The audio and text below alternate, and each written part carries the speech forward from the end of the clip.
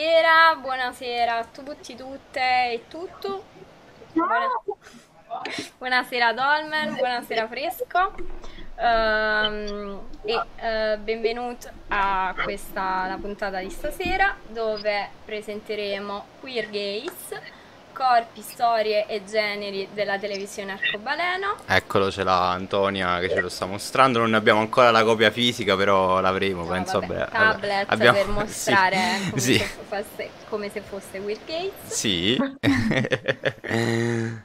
Sì, sì, dicono bello rivedere Antonia dopo la live turbolenta dell'altra Sì, volta. infatti l'altra volta è- oh, Antonia è stata ospite, pur- purtroppo la live è andata Abbiamo un avuto po'... un po' di problemi tecnici, però speriamo che questa volta di, di Non dovrebbero rifarci. esserci.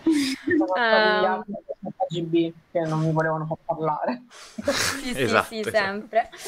Eh, tra l'altro stiamo provando anche il nuovo, la nuova ring light, Sì, sì, siamo vedete, con attrezzatissimi. una luce diversa. Sì. Eh, e niente, stasera siamo qui per presentare Queer Gates. e Con noi c'è Antonia che ha curato l'antologia. Eh, ed Elisa Manici e Nina Ferrante che appunto sono attiviste e mh, hanno, hanno scritto dei pezzi eh, all'interno di Queer Gates. Um, in particolare Nina un pezzo su, su Sense8 e da lì tutta una, un approfondimento su che cosa significa eh, Sense8 eh, sia come manifesto di Netflix sia tutta una riflessione rispetto alle nuove parentele e dopo approfondiremo meglio con lei. Eh, invece Lisa ha scritto un pezzo eh, rispetto alla, alla grassezza e alle correlazioni con eh, la queerness, insomma. Eh, leggo un po' di, i commenti in questa chat. Non so, c'è un po' di rumore di sottofondo. Sì, c'è un po' di so rumore, se scusate. sentite- eh. Sembra che sta diluviando in qualche modo, non so. E infatti si sente comunque. E però... beh, Però diteci anche in chat se sentite bene audio, eh, i vari audio se sono, sono sincronizzati bene. Comunque, ehm, vole- vogliamo iniziare con una piccola presentazione vostra a turno? Eh, rispetto Sì. a quello che fate, eccetera. chi vuole cominciare? Prego. Ah, Nina che perché sta a sinistra. ok, comincia Nina, perfetto. Prego Nina. Come facevo a sapere che ero alla loro sinistra? Abbiamo tutti la stessa visualizzazione dello schermo. No, mi sa che è diverso. sa che è diverso. Noi ti vediamo all'inizio, quindi Quindi Vai. cominci tu. Vabbè. E io sono Nina, e sono una studiosa, un'attivista terrona. Eh, in questo momento ehm, ho un assegno di ricerca a UAB per fare ehm, una compostiera. E, però insomma sono un'attivista e una studiosa di transfemminismo queer, cerco, lo vado a cercare nelle rappresentazioni della tecnologia, dei nuovi media, della televisione e in generale un'appassionata di cultura pop. Sì. Poi abbiamo Elisa. eh, Io sono una giornalista e un'attivista e eh, sicuramente sono una studiosa di fat queer activism e ehm, tra le ho collaborazioni random giornalistiche quando ho tempo, però mi piace dire che ehm, sono direttora e lo dico con vezzo perché lo so che si è affermato di più direttrici, ma non me ne frega niente, dico direttora uguale, eh, di, un, um, di una rivista che si chiama La Falla. È una rivista, diciamo, LGBT, eh, perché è edita dal Castello di Bologna con una linea editoriale palesemente ed evidentemente e autodichiaratamente transfemminista queer. ok. Vai Antonia. Antonia già è stata nostra ospite, Vabbè. però appunto, ecco, dici Però di più. non è cambiato molto dall'ultima volta, quindi ho, ho curato questa antologia e a questo punto se Elisa è direttore sono un'editora Sì. eh, di edizioni minoritarie, per cui sono anche, cioè, di, chi risponde come edizioni minoritarie su Twitch sono io. E poi scrivo cose, faccio un po' di dirette, e, mm, boh, leggo fumetti, vorrei fare la sceneggiatrice di fumetti, e, boh, basta. Ho mangiato del pesce surgelato prima. ok, perfetto. perfetto. Bene, comunque approviamo assolutamente Sì, in chat approvano direttora, editora, editora e e eh, tutti, tutti i termini possibili Perfetto, che sì. vogliamo utilizzare e declinare al femminile. Ehm, allora, partiamo un po' a parlare un po' del libro. Prima di tutto, come nasce questa antologia? Eh, lo chiederei principalmente prima ad Antonia, poi appunto se volete rispondere anche voi, dato che è stata la curatrice di curatora di questa, Curatora. curatora di questa antologia, quindi da come so, da come mi avevi spiegato, comunque è un progetto che nasce qualche anno fa. Quindi come è nato, come si è evoluto e poi come si è arrivati ad avere il libro che insomma stiamo presentando stasera. Possiamo anche iniziare a chiamarlo Antologiora volendo. Perfetto, perfetto. Eh, praticamente è nato, ehm, è successo che al um, Sopri Fair Cake di quasi tre anni fa, se non sbaglio, Del eh, 2018, quindi quasi tre anni, due anni e mezzo fa, sì. ehm, abbiamo fatto una- un panel insieme, c'era Elisa, eh, Eugenio Fattori e Irene De Togni e eh, Alice, non mi ricordo Alice, c'era? Chetti era. Sì. Vabbè, comunque cioè, tanto tempo fa mi ricordo solo alcune parti. Due ondate fa. Ah? Due ondate fa. Due ondate fa, sì. Sì, due ondate fa. Prima di due ondate fa. Ehm, c'è stato, quindi ho fatto, ehm, è andato il video, come dire, aspetta, sto parlando. Eh, e, ehm, gli editori, le editoresse de- di, di Asterisco hanno visto questo video in cui eravamo presenti e io ho fatto un panel sulla rappresentazione trans e mi hanno chiesto appunto di, ehm, di curare questa antologia eh, che ha avuto una, un- comunque una gestazione un po' lunga, diciamo un paio d'anni, dovute a, a vari ritardi, poi insomma eh, nell'ultimo anno c'è di, eh, in mezzo anche le due ondate. E, cosa fai? Male, non devo parlare. E, mm, e quindi ho iniziato, diciamo, mm, le- la prima idea è stata, dobbiamo, cioè, per parlare di ehm, serie di queer, ho bisogno di persone queer, o comunque eh, tutte le persone co- coinvolte erano e e sono state effettivamente eh, persone variamente proce.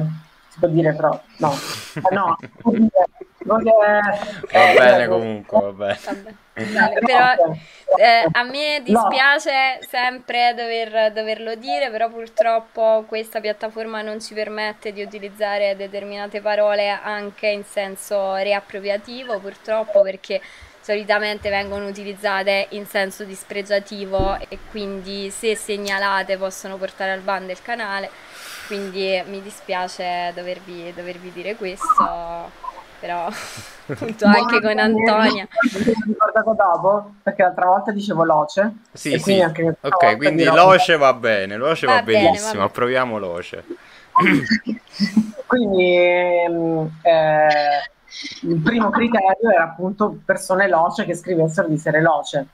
Ehm, e quindi un po' tra i miei contatti, un po' tra contatti di contatti, ho cominciato a chiedere eh, un po' è venuto queer gaze. Ovviamente eh, dal momento che ho chiesto al momento, come dire, i pezzi, al momento in cui è uscito sono passate varie, varie stagioni e varie ondate, quindi ehm, non, sono, non sono proprio le ultime serie, anche perché praticamente è impossibile stare dietro a, a tutte le serie, non ne faccio fatica. Ho iniziato adesso a vedere i Sopranos, è uscita nel 99, quindi sono un po' i miei tempi, insomma. E, ehm, però forse si vocifera che ci sia anche un volume 2, mm, speriamo bene. Insomma, intanto sta andando, sta andando bene come vendite, questo è importante diciamo, per, per la casa editrice che Asterisco, e sono appunto compagni e compagne loce di- che stanno a Milano e che hanno un bellissimo catalogo, questo lo dico sinceramente, ero già fan prima di Deep Gates. E, um, e quindi cioè, diciamo che quello che è venuto fuori è stato anche abbastanza, da un, da un punto di vista politico, abbastanza omogeneo senza volerlo. Cioè, in realtà ho chiamato anche delle persone che, sapessero, che condividessero un minimo eh, di visione transfemminista, eh, transfemminista queer, perché altrimenti siamo lì con um, esaltazioni un po' inutili diciamo, del, um, del, del, rainbow washing. E direi che come introduzione, se non mi posso fermare qui lasciare la parola. Ok, intanto io ho linkato in chat il, um, il, link al libro per acquistarlo sul sito di Asterisco Edizioni, se, se, volete, se chi è collegato con noi volete dare un'occhiata, comunque quel link sarà magari spammato altre volte stasera. Um, ok, ovviamente qui stasera abbiamo con noi Nina ed Elisa che sono solo due delle autrici dei vari saggi presenti all'interno di Queer Gates uh, dove ognuno dei saggi diciamo si sofferma su un tipo di rappresentazione, fa un approfondimento su un tipo di rappresentazione specifica. Uh, ok. Um, chi, chi, vuole iniziare di voi due magari un po' a parlare anche voi un po' di, del vostro pezzo e di, di questo libro se, se state contente di, di farlo e come, come si evolverà insomma.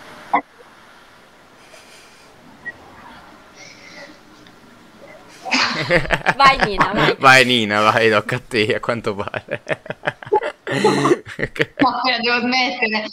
È tipo, devo imparare a mettere il maglione nero come quando andavo all'università, tipo quando fanno le domande così, un maglione troppo colorato, sempre. E, ehm, a me Anto ha chiesto di scrivere, penso, la biblioteca delle donne. Ti ho chiesto di scrivere tutta la biblioteca delle donne. Cosa? Ti ho chiesto di scrivere tutta la biblioteca delle donne. No, me, mi ha chiesto di scrivere questo ah. saggio, che eravamo alla Biblioteca delle Donne di Bologna. Quando ancora? Era questo bellissimo. E, ehm, insomma, io le, leggevo le sue cose e quindi sono stata molto contenta che mi abbia coinvolta in questo, in questo progetto.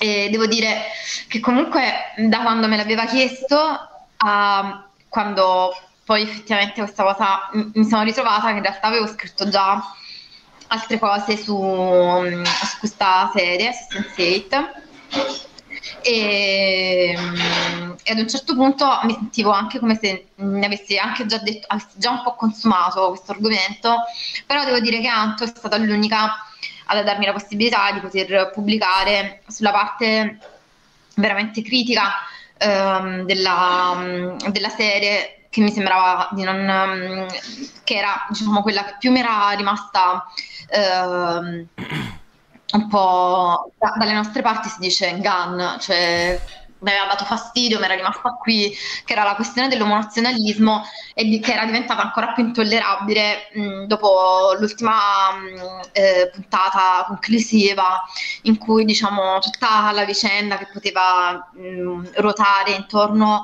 ad un grande mistero futuristico, grandi case farmaceutiche, Matrix o cose del genere, invece si risolve che la camorra e insomma eh, il sistema, eh, i mandolini, gli spaghetti, lo spara-spara, senza una trama e quindi mh, mm, la ringrazio di avermi dato la possibilità di poter um, intrecciare l'ultima parte, la più cinica. Mi dispiace forse di averci messo quella più innamorata della stagione, cioè della, della serie intera, che è quella delle, delle mucchiate, um, mucchiate si può dire? Okay. Okay. Sì, sì, sì, direi di sì. Sì, sì, sì. Ora inizia sempre il si può dire. Si, si può dire, si può dire purtroppo. Ah, sì, sì. Vabbè. E, um, uh, Boh, eh, non so, insomma, non so quanto entrarci, ecco, rispetto alle domande che ci stiamo facendo. Sì, sì, sì, Penso che per era... adesso può andare bene così. Sì, sì, sì, era un po' di introduzione, giusto una panoramica un po' su tutto il volume prima di addentrarci nei- negli argomenti specifici. Eh, invece tu Ok. Elisa, come, come, è, come è nato e come si è evoluto il tuo pezzo e, e, mh, come, come vedi il libro nel suo complesso, se, se ti è piaciuto, se non ti è piaciuto. Io lo chiedo perché Mi scusa. Mi è piaciuto.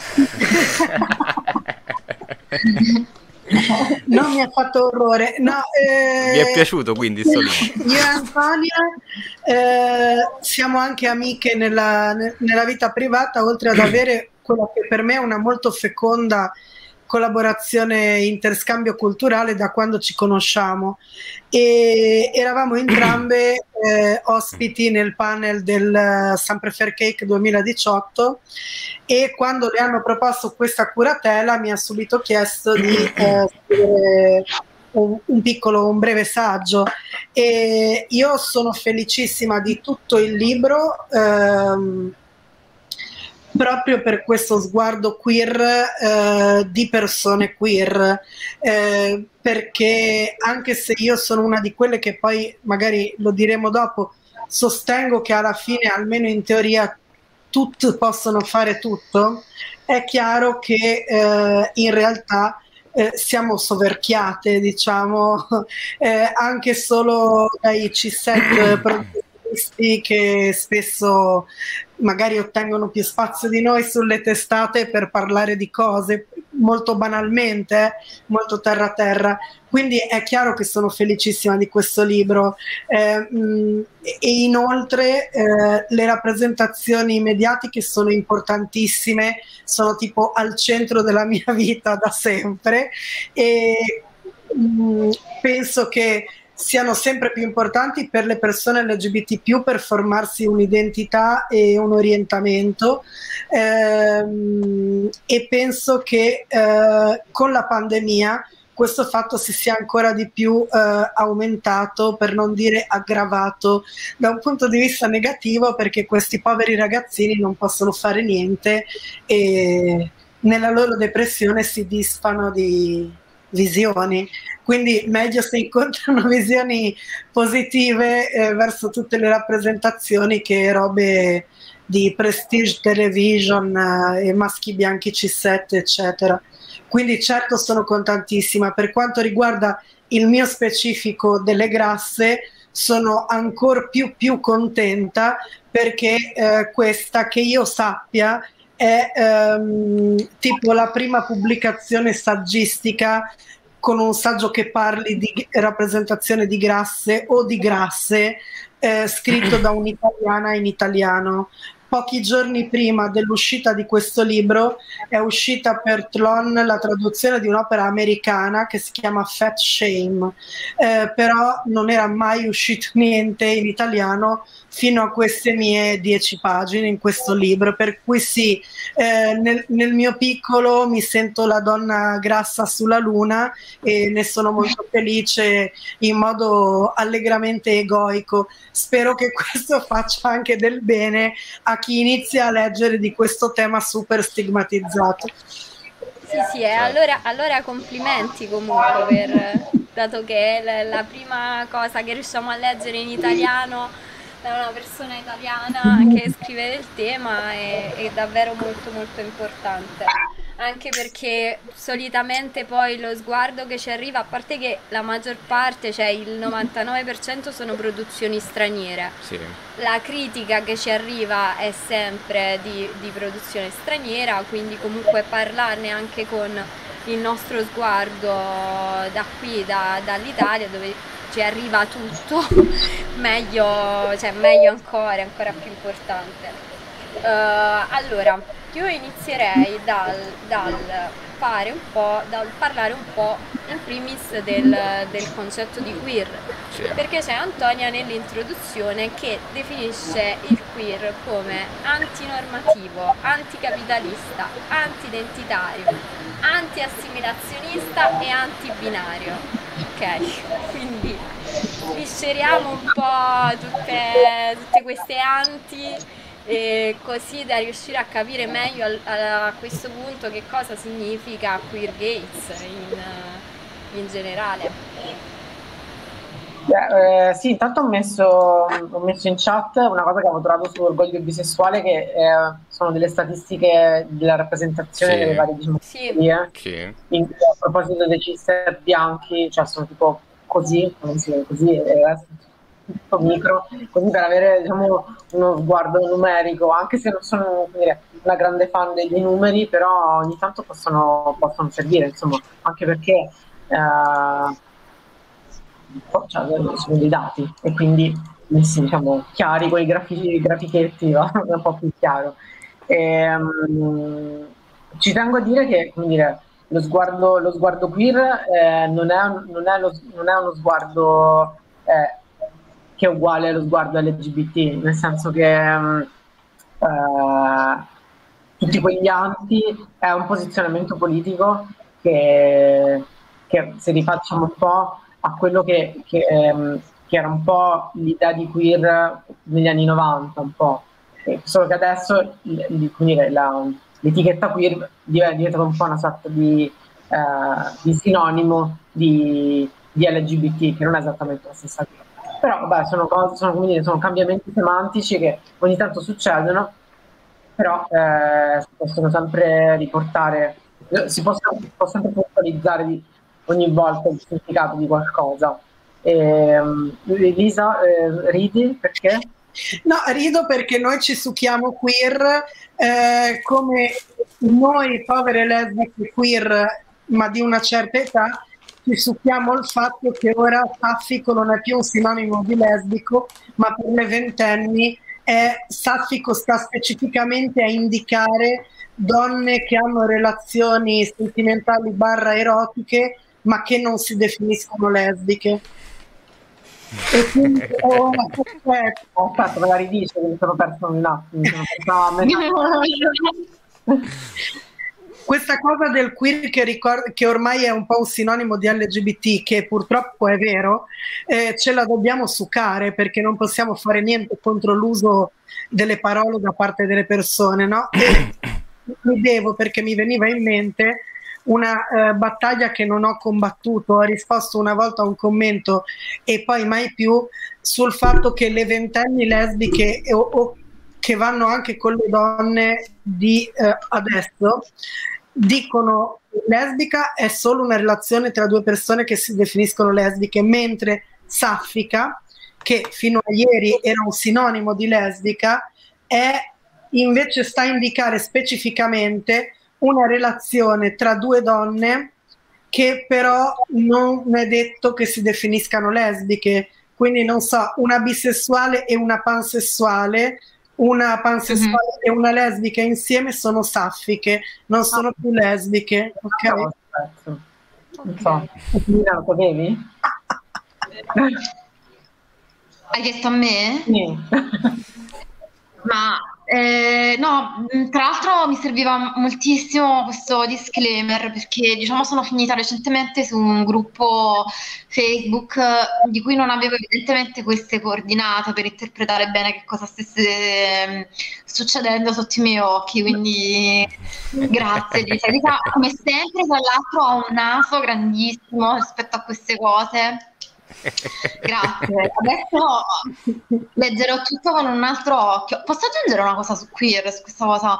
Che um, se queer fosse interpretato um, come lo interpreto io, adesso non è che voglio per forza allargarlo anche ad Anto, Elisa, però evidentemente non si potrebbe dire su questa piattaforma cioè, perché mm, cioè, nasce da una riprovazione di un insulto e se non diventa quella mm, copertina patinata che va bene su tutte le cose e soprattutto um, è una roba talmente sbrilluccicante che non ti fa leggere quello che c'è dietro, mm? sì. evidentemente c'è qualcosa che non va perché queer dovrebbe essere invece proprio tutte quelle cose che non possiamo, che non possiamo dire. Poi, diciamo, Anto brillantemente eh, è riuscito a declinarlo politicamente mancava anche antipatiche comunque, però ehm, insomma, ehm, è innanzitutto quello che è intollerabile, inas- inassimilabile, insopportabile. Sì, sì, concordo. Facciamo tutte con in adesso, rifacciamola se per il secondo volume, invece di tutti quanti è in.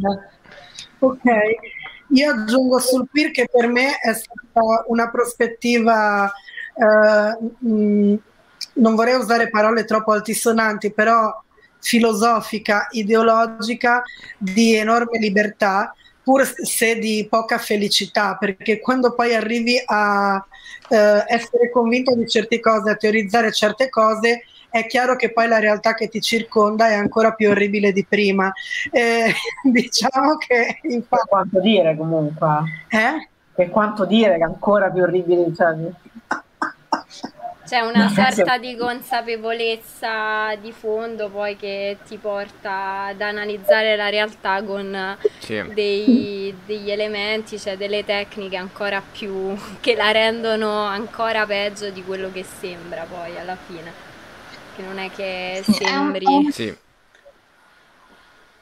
è una capriola storta che ti fa lanciare uno sguardo storto e guardare storto il mondo, che ti sembrerà ancora più storto, tutto storto. Allora, c'era Dolmen in chat che faceva una domanda. Sì. A proposito di importanza delle rappresentazioni quando si è piccoli, piccole, piccole uh, rispetto penso a quello che diceva Elisa prima. Che personaggi queer o LGBT ricordate della vostra gioventù? Io mi ero attaccata morbosamente a Skins che a rivederlo oggi ha i suoi limiti.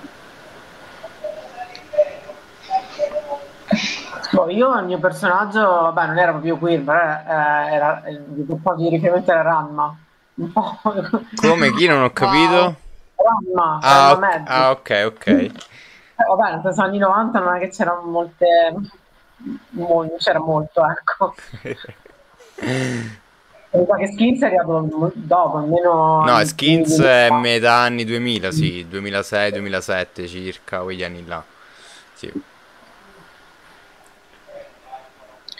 Nina, vuoi rispondere tu? eh, io appunto, eh, non, cioè, non so, mm, forse più che un personaggio, devo dire, io ho, mm, ho, capito che c'era qualcosa, non che non andava, ma che andava molto bene guardando uh, um, Crazy, il video di Crazy degli Aerosmith eh, in cui c'era questa dinamica tra queste due ragazze. Io ogni volta che le guardavo pensavo non devo essere lesbica, non devo essere lesbica, non devo essere lesbica. non, non ha funzionato. E, ehm, questa forse è la cosa più interessante, no? che prima ancora che ci fossero dei personaggi legittimi che ci davano la possibilità di poterci immaginare nel mondo, c'era la possibilità di riuscire a scoprirli, a immaginarseli dove noi li riuscivamo a vedere, quindi ovunque. E devo dire che i videoclip forse avevano molti personaggi, diciamo, queer, volontariamente o meno, perché... Io vi do una prospettiva intergenerazionale perché sono più vecchiesca di tutti voi e quando io ero ragazzina, proprio ragazzina, non c'era internet non c'erano personaggi LGBT fondamentalmente. Io ho fatto coming out prestissimo per la mia generazione per, eh, a 16 anni e mh, mm, ho passato tutto il resto dell'adolescenza a cercare rappresentazioni, a dragare le librerie, a leggere tra le righe delle trame dei film nelle videoteche per vedere se potevo trovare cose quindi io non ho un personaggio, ma ho la mia ricerca certosina di rappresentazioni dignitose.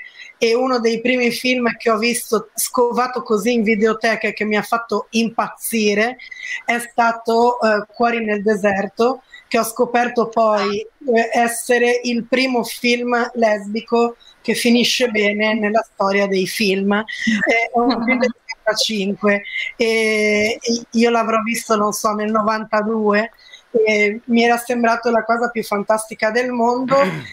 Poi sicuramente un'altra ancora di salvezza dell'adolescenza, oltre a sconosciuti fumetti giapponesi che manco vi cito perché non credo che nessuno se li possa cacare. Eh, No, sì. eh, uno si chiamava, era una sorta di mh, graphic novel esteso in tre volumi che si chiamava Chirality, eh, una fantascienza distopica, vabbè, insomma, eh, filmone di purtroppo uscito tagliato durante la mia adolescenza, ma pietra miliare, pomodori verdi fritti. Sì. Pomodori Sì. verdi fritti, io ho visto il trailer della versione non tagliata su una TV locale e sono tipo impazzita, avevo 16 anni così. Oh, oh, cosa ho visto? Cosa ho visto? Cosa ho visto? Sono andata al cinema, non c'era la scena del trailer.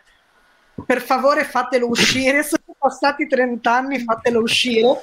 E, però poi ho comprato il libro, nel libro c'era per niente sessualmente raccontato come avrei desiderato, però c'era il rapporto tra Iggy e Ruth e quindi io l'avrò letto 150 milioni di volte. E quindi i personaggi me li dovevo cercare, quindi capite che con i miei occhi questa di oggi, eh, con le nostre percentuali piccole piccole nei report annuali GLAD, eh, mi sembra già un'età dell'abbondanza, tutto sommato. Sì. Sì, c'è, c'è- c'è comunque stata un'esplosione di personaggi LGBT, poi dopo andremo a vedere queer comunque nello specifico che senza confondere i due termini, come, come dicevate anche voi prima.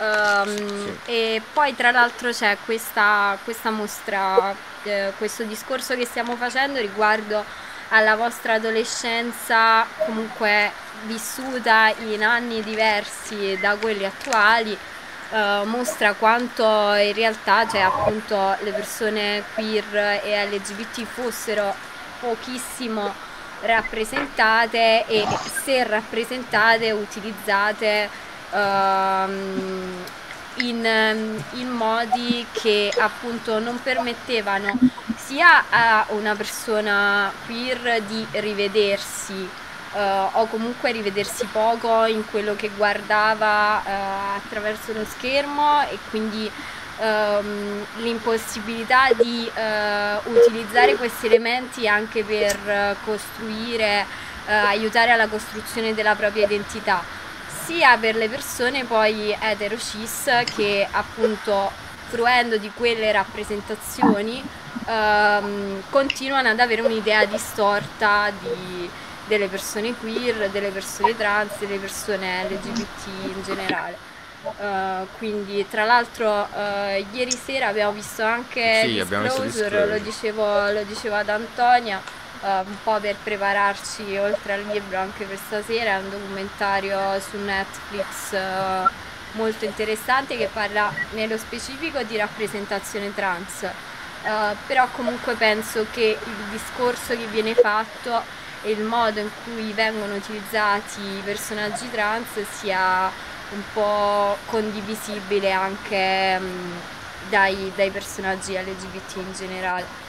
Cioè, poi chiaramente c'è un discorso comunque che riguarda l'omonormatività di cui parlava anche Nina e di cui si parla nel, nel Sì. saggio, però diciamo che in generale c'è stata questa tendenza eh, a por- che è ancora oggi presente a fornire delle rappresentazioni molto molto parziali o totalmente sbagliate e, e questo ha causato delle conseguenze importanti nel momento in cui magari l'unico modo con cui veniamo a contatto ehm, con persone queer o LGBT in alcuni casi è la rappresentazione mediatica. Ok. Sì. C'era una domanda in chat rispetto sempre a prima alla questione queer, anti-identitario e anticapitalista, eccetera. Sì. Ma, se- ma prima, se ho capito bene, si diceva queer tra le altre cose come anti-identita- id- anti-identitario. Po- potete spiegare che si intende? In generale, se potete dare la vostra definizione di queer anche nel senso di come, cioè di sguardo come propone il titolo del libro. E, cosa, e come pensate uh, venga interpretato nel, ma- nel, mainstream? Non ho capito come viene confuso con LGBT. Allora, la domanda comunque che volevo fare prima, che avevo fatto prima, era un po' spiegare anche per voi che cosa significa queer. In parte avete risposto, magari uh, appunto Zenzero, rispondiamo meglio alla domanda di Zenzero. Uh, e soprattutto chiedeva rispetto alla questione anti-identitario. Eh, Posso vai. provare a dire due frasi bignami perché eh, pensando a una persona che non sa assolutamente niente di che cosa possa essere il queer, mi viene da dire due frasi che per le mie colleghe sicuramente sono trite e ritrite. Non uccidetevi, ma mettetevi nei panni di chi potrebbe non saperne niente. Mi viene da dire che il queer ehm, è quella corrente di pensiero che vede eh, quasi tutto, de- praticamente tutto dell'essere umano come performatività, cioè non, non uomo, non donna, non lesbica, non gay, eh, eh, non bisessuale, eccetera, eccetera, eh, come eh, elemento costitutivo della tua identità a livello ontologico, ma una, una tutto una performance. Eh, un, un claim classico del queer è nasciamo nudi, il resto è drag, per, per cercare di farsi capire, ok? Tipo. Sì. Quindi è un po' una logica un po', come dire, molto sfumata, non è nemmeno un, dire, un termine ombrello come può essere, che ne so, trans, che è, che è, che è sotto a varie, diciamo, ehm, soggettività, è proprio un'idea di, di diffusa, quasi nebulizzata di, di, di identità possibili e probabili, ma anche e soprattutto improbabili. Eh, perché quindi, cioè, nel senso, anche metterlo anche, anche il problema è che quando si parla della, della sigla LGBTQI, eh, non tutte le sigle, cioè non tutte le lettere hanno la stessa, nella stessa, come dire, tipologia di percorso e nella stessa tipologia di, uh, di, di, di discriminazione né di in, appunto, essenza in un certo senso, che è un discorso certo, non voglio fare un discorso essenzialista, però sono cose che sono anche molto diverse e per chi è fuori vedendole insieme nella stessa sigla può far pensare che abbiano lo stesso che abbiano una violenza in tutti, in tutti i casi, invece non è così. E questa è una cosa che secondo me confonde molto eh, perché ogni, ogni, lettera ha una storia lunghissima, ehm, diverse che hanno fatto in modo, varie storie che hanno fatto in modo di arrivare a quel punto, cioè la, la, che ne so, la, essere gay, quella G lì ha tantissime cose che, hanno, che in questo momento ehm, significa, significa quella G, ma era, eh, cambia continuamente anche ehm, perché essere gay quest'anno è diverso da essere gay 30 anni fa, però eh, sono, sono, è un processo storico che in realtà una volta che tu vedi solo una letterina non, non sai bene cogliere. Non so se ho attaccato un po' una pippa, però non so se... no, no, no, vai. Sì, sì, sì, sì. Posso, attac- posso attaccarmi all'attaccata di pippa? Vai, vai, vai, vai, assolutamente. Vai. Eh, perché la volevo, mm, cioè, sono molto d'accordo con la prospettiva che aveva um, aggiunto adesso Anto, quella di Elisa, ehm, perché credo che forse sia importante anche cioè, capire che cosa significa eh, la cioè, identità e antidentitario, no? per renderlo un pochino più chiaro, cioè nel senso che solitamente sia eh, post- nei posti dell'università, dell'accademia che della politica, no? C'era sempre, cioè si parlava del soggetto, il soggetto ed era sempre uguale, era un maschio bianco della classe operaia, cioè era l'unico, no?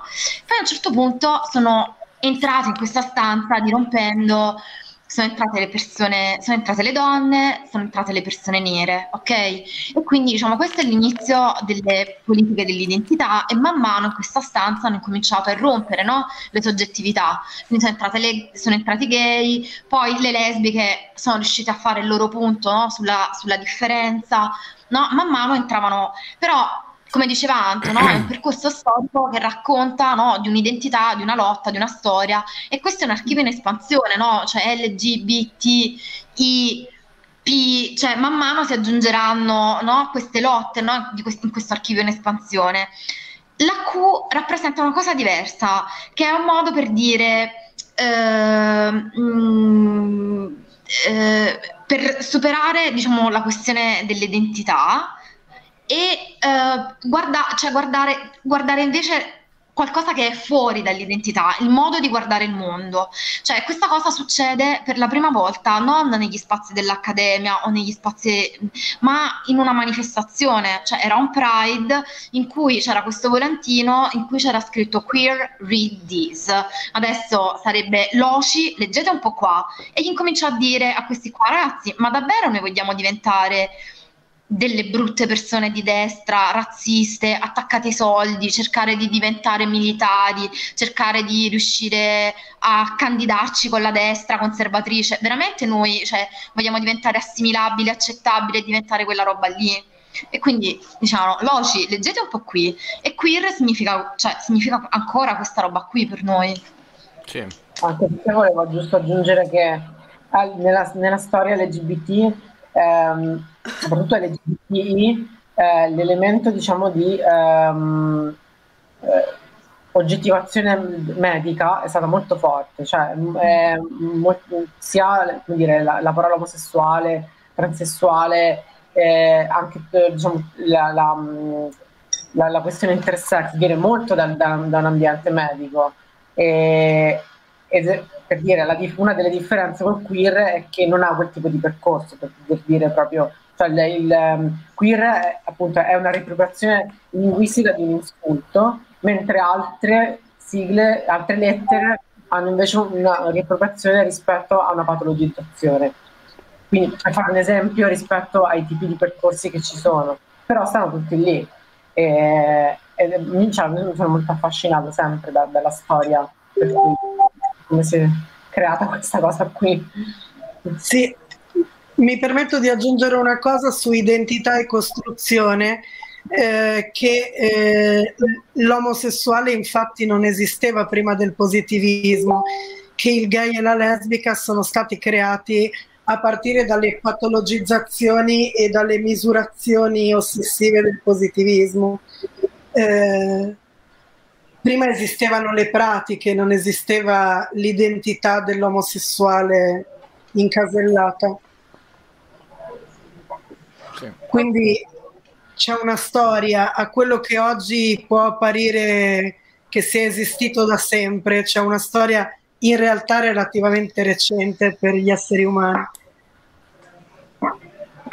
Um, dicevano, dicevano, in chat che avevano visto anche queer come termine ombrello, quindi magari c'è in realtà forse è questo che causa confusione, l'assimilazione a, alla stessa sigla, in questo caso di una moltitudine di percorsi diversi che però non possono essere trattati e analizzati allo stesso modo. Questo emerge ancora di più con, uh, con, il termine queer che appunto si pone in, un, in una storia, in un'ottica totalmente cioè, diversa fuori uh, dalle, dalle, altre parole che compongono la sigla uh, e dicono anche queer contro le res- respectability politics, non so come si dice in italiano per farlo ca- capire.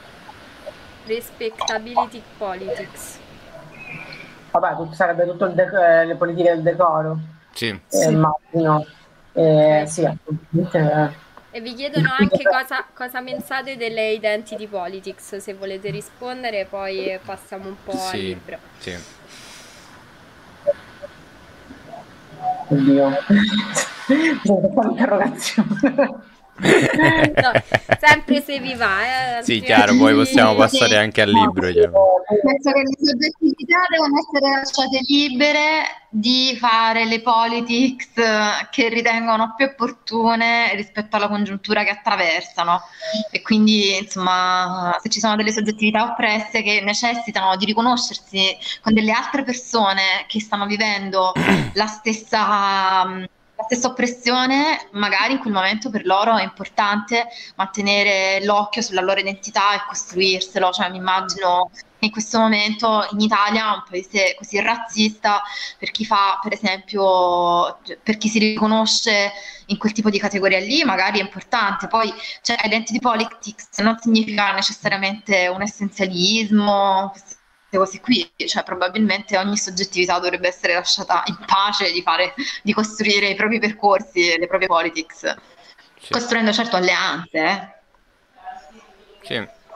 Certo, certo, le, alle- le alleanze poi sono fondamentali, però è fondamentale anche essere liberi e libere di costruirsi una propria identità e utilizzare mh, il- le rappresentazioni che più si percepisce, perse- percepisce affine a se stesse e se stesse. Uh, comunque, allora, a partire da, da, questo che abbiamo detto, abbiamo definito un po' che... Cosa Vai, vai, sì, vai. sì, prego, prego. Eh, no, in effetti, cioè, Nino ha detto una cosa molto importante del fatto, come dire, della, della non essenzialità e anche del, dire, del, del, fatto che siano categorie che, sono, che possono valere in un momento e che ne so, possono valere quest'anno per dire come un anno come, come dire, marcatore di tempo qualsiasi. E magari fra due anni no, perché cioè, dobbiamo... Mh, eh, il problema è che quando si, si usano delle etichette ehm, di, si, si, pensa che siano eterne e, e, assolute e invece di prenderle per quello che sono, cioè sono de, delle, processi storici che valgono in quel momento lì, storici e culturali soprattutto, che valgono in quel determinato momento. Appunto, queer 50 anni fa aveva un significato, eh, negli anni 90 un altro, adesso un altro ancora, eh, però questo diciamo è già un po' diverso, però anche appunto questa cosa dell'identity politics eh, può essere funzionale anche, anche, perché parliamo comunque sempre di soggettività ehm, marginalizzate e quindi eh, soggette una, alla violenza del, dell'eterocisnormatività. Quindi ci sono tutta una serie di cose, di strumenti di, di difesa eh, collettivi e personali, tra cui può esserci, cioè, una cosa che sto pensando adesso, eh, tra cui anche l'uso funzionale del, di una politica identitaria, come può essere allo stesso modo l'autodeterminarsi come persona queer in quel momento lì. Sì, sì, sì assolutamente. Poi rispetto al discorso del, delle etichette è molto controverso sì. ultimamente, se ne parla purtroppo in termini negativi perché sembra questa, questa esplosione, poi c'è esplosione di etichette, vabbè. Uh... Io, io, su questo invece vorrei aggiungere um, una cosa sul fatto che um, nella mia redazione ci sono molte persone giovani, diciamo tra i 19 e i 22 e 23 anni, e invece per loro in media e anche per l'esperienza dei loro coetanei che riportano, non solo sono importanti le etichette come le potrei intendere io, molto più ampie per definirsi, ma eh, sembra che usare il micro labeling li aiuti quasi a essere meno smarriti, eh, a fissare dei punti su di sé per, per poterli interfacciare meglio col mondo. Scusate il momento pippone, però al contrario i ventenni con cui sono in contatto io sono tutti abbastanza dentro i ventenni LGBT chiaramente con cui sono in contatto io sono tutti abbastanza dentro anzi il micro labeling cioè di, sì. di dare una definizione per ogni cosina ecco diciamo che dare, dare delle definizioni perché poi magari le, il dare una definizione, l'etichetta viene inteso come un voler erroneamente, voler semplificare, eh, cioè nel senso che io do un'etichetta, do quell'etichetta per farmi capire meglio dalle altre persone, però in realtà secondo me la, la definizione serve poi a, um, al soggetto per capire meglio in primis dove si posiziona e con cosa si sente più a suo agio. Uh, e poi dopo può servire sicuramente in ambienti specifici dove si è dentro uh, appunto tutti i vari significati, però cioè, non è che deve essere una cosa complessiva, purtroppo non, non, può ancora, non può ancora esserlo dal momento in cui molte parole non sono entrate nel linguaggio comune, anzi eh, ne abbiamo pochissime che hanno lottato per entrarci. Uh, però insomma un po' su questo sul discorso etichette penso che, che sia un po', un po', questo il discorso. Sì. E ehm, appunto proprio rispetto a questo e rispetto a quello che dicevamo sul queer tornando alla rappresentazione Uh, quali sono quindi considerato anche il, il, contesto sfumato comunque fluido in cui ci muoviamo quali possono essere gli elementi per uh, una buona rappresentazione queer um, insomma tutti gli elementi da considerare um, rispetto alle, alle, varie identità e alla, alla rappresentazione di queste identità Intanto Nina si è disconnessa, mi sa che cioè, è caduta, però penso Vabbè, quando, quando ritorna. Sì. E, beh, intanto bisogna dire che comunque nel momento che parliamo di televisione eh, parliamo anche di eh, strutture di, di, produzione e anche di ehm, eh, molto mh, mm, che sono molto legate diciamo a un sistema industriale e poi anche eh, che a livello di scrittura ehm, ci sono, eh, cioè stiamo dentro un sistema mol- mm, molto determinato, cioè che mh, la struttura seriale ha delle, delle, ha delle regole e, e i cosiddetti showrunner, cioè sono quelli che creano e seguono un po' i produttori, diciamo, che guardano un po' l'insieme delle serie, decidono più o meno ehm, quanto staccarsi eh, e quanto giocare con queste regole. E questa è una, è una, ehm, una premessa molto importante perché comunque nel momento che parliamo di serialità televisiva non c'è una libertà assoluta, ma sono sempre all'interno di una serie di vincoli che possono essere appunto, di scrittura legati al genere scelto, legati al canale, legati al tipo di storia, eh, eccetera. E quindi lo sguardo queer innanzitutto deve riuscire a smantellare dall'interno di, que- di questa di queste convenzioni di scrittura eh, le norme, perché una serie totalmente eh, come dire, fuori da, dagli schemi non è impossibile, cioè eh, nessuno la produrrà, perché sta all'interno di, quella, eh, di, quella, di quel sistema produttivo. Diverso invece se parliamo di, di altri tipi di, di media, come può essere il cinema o, o i fumetti o la narrativa cioè, la, serialità, la serialità televisiva è quella roba lì di, di, come dire, di, ha quella storia che va fatta in un certo modo.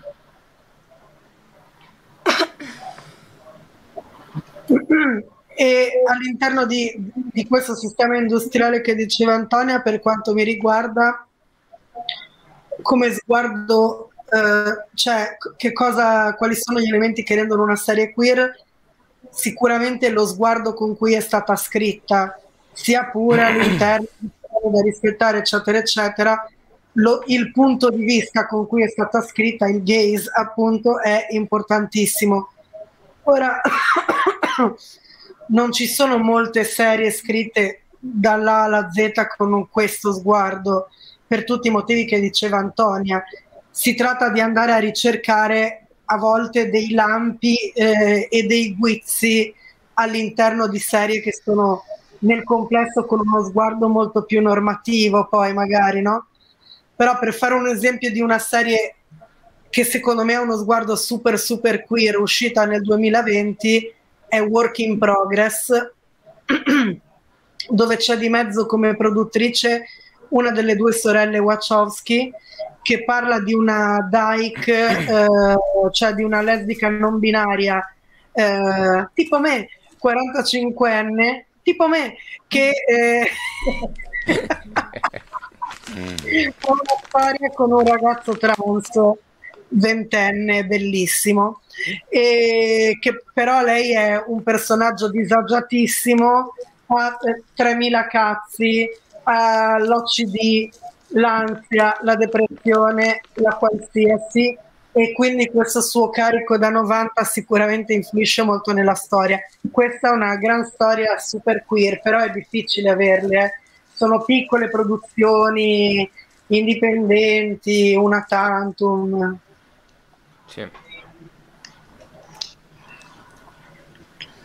Ehm, a proposito delle, delle sorelle Wachowski, mi ricollego uh, per chiedere a Nina Sì. a proposito di Sense8.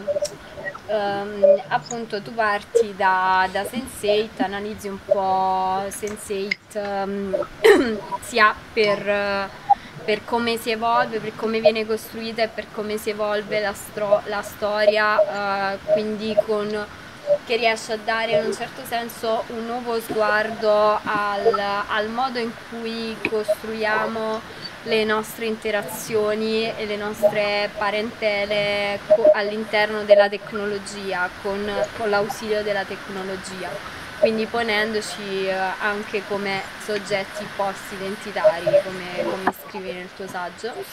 Eh, e questo lo rende un po' eh, anche rispetto alle premesse con cui è stata scritta la serie, eh, un po' il manifesto di Netflix e più in generale delle, delle piattaforme di fruizione streaming online che riescono a metterci in, in, um, in correlazione guardando, avendo in comune che ne so una serie che stiamo Buonasera. guardando in quel momento, però eh, stando sparsi per, per il mondo e quindi connettersi attraverso la piattaforma. Buonasera Samu, grazie mille per l'abbonamento e benvenuto qui con noi stasera.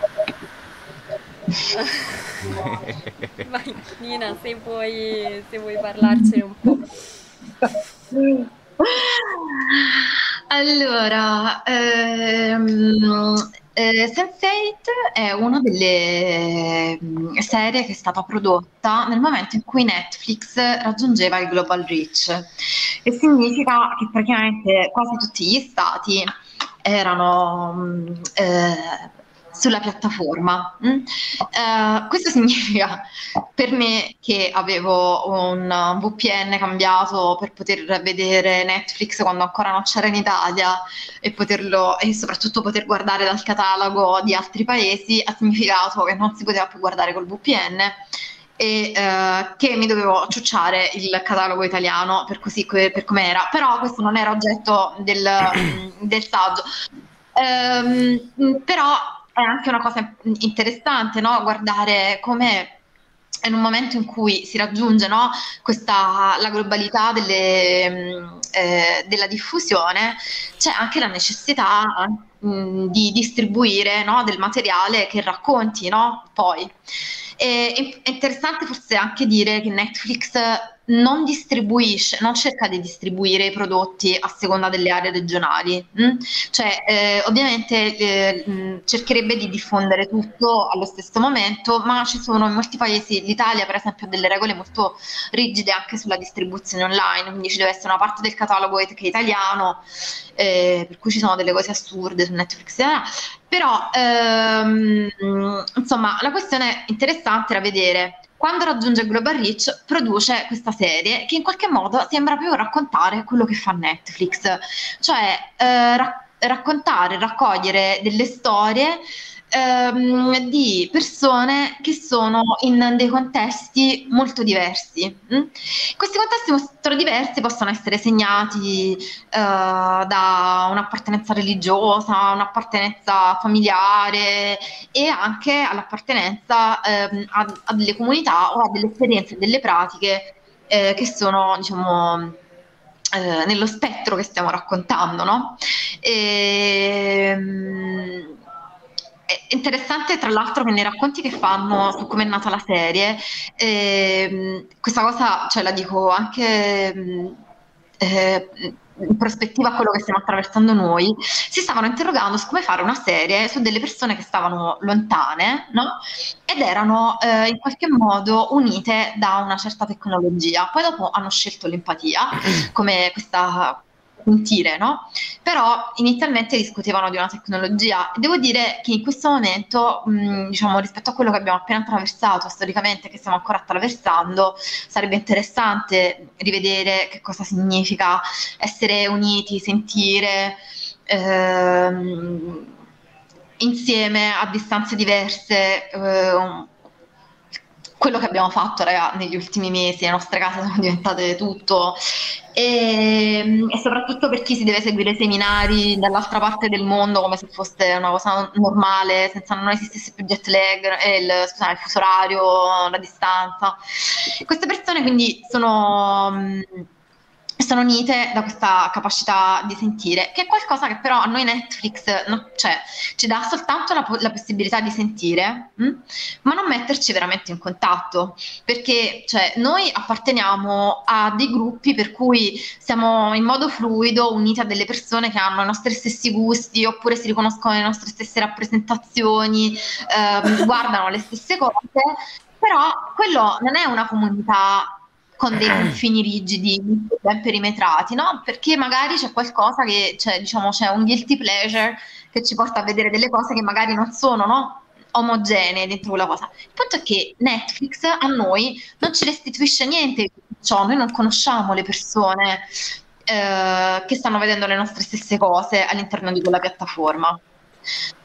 Ehm, quello che è interessante raccon- cioè della, della, della, serie probabilmente è proprio ehm, invece questa capacità di, di, sentirsi, di riconoscersi e di mettersi all'interno di, una, di un network che è una rete emotivamente affidabile, sostenibile, di impoteramento per le persone che partecipano, di soluzioni, di conflitto e, e di gioie anche tante e di orge anche abbastanza. Non, insomma, sì. si poteva fare anche, anche di più, ecco.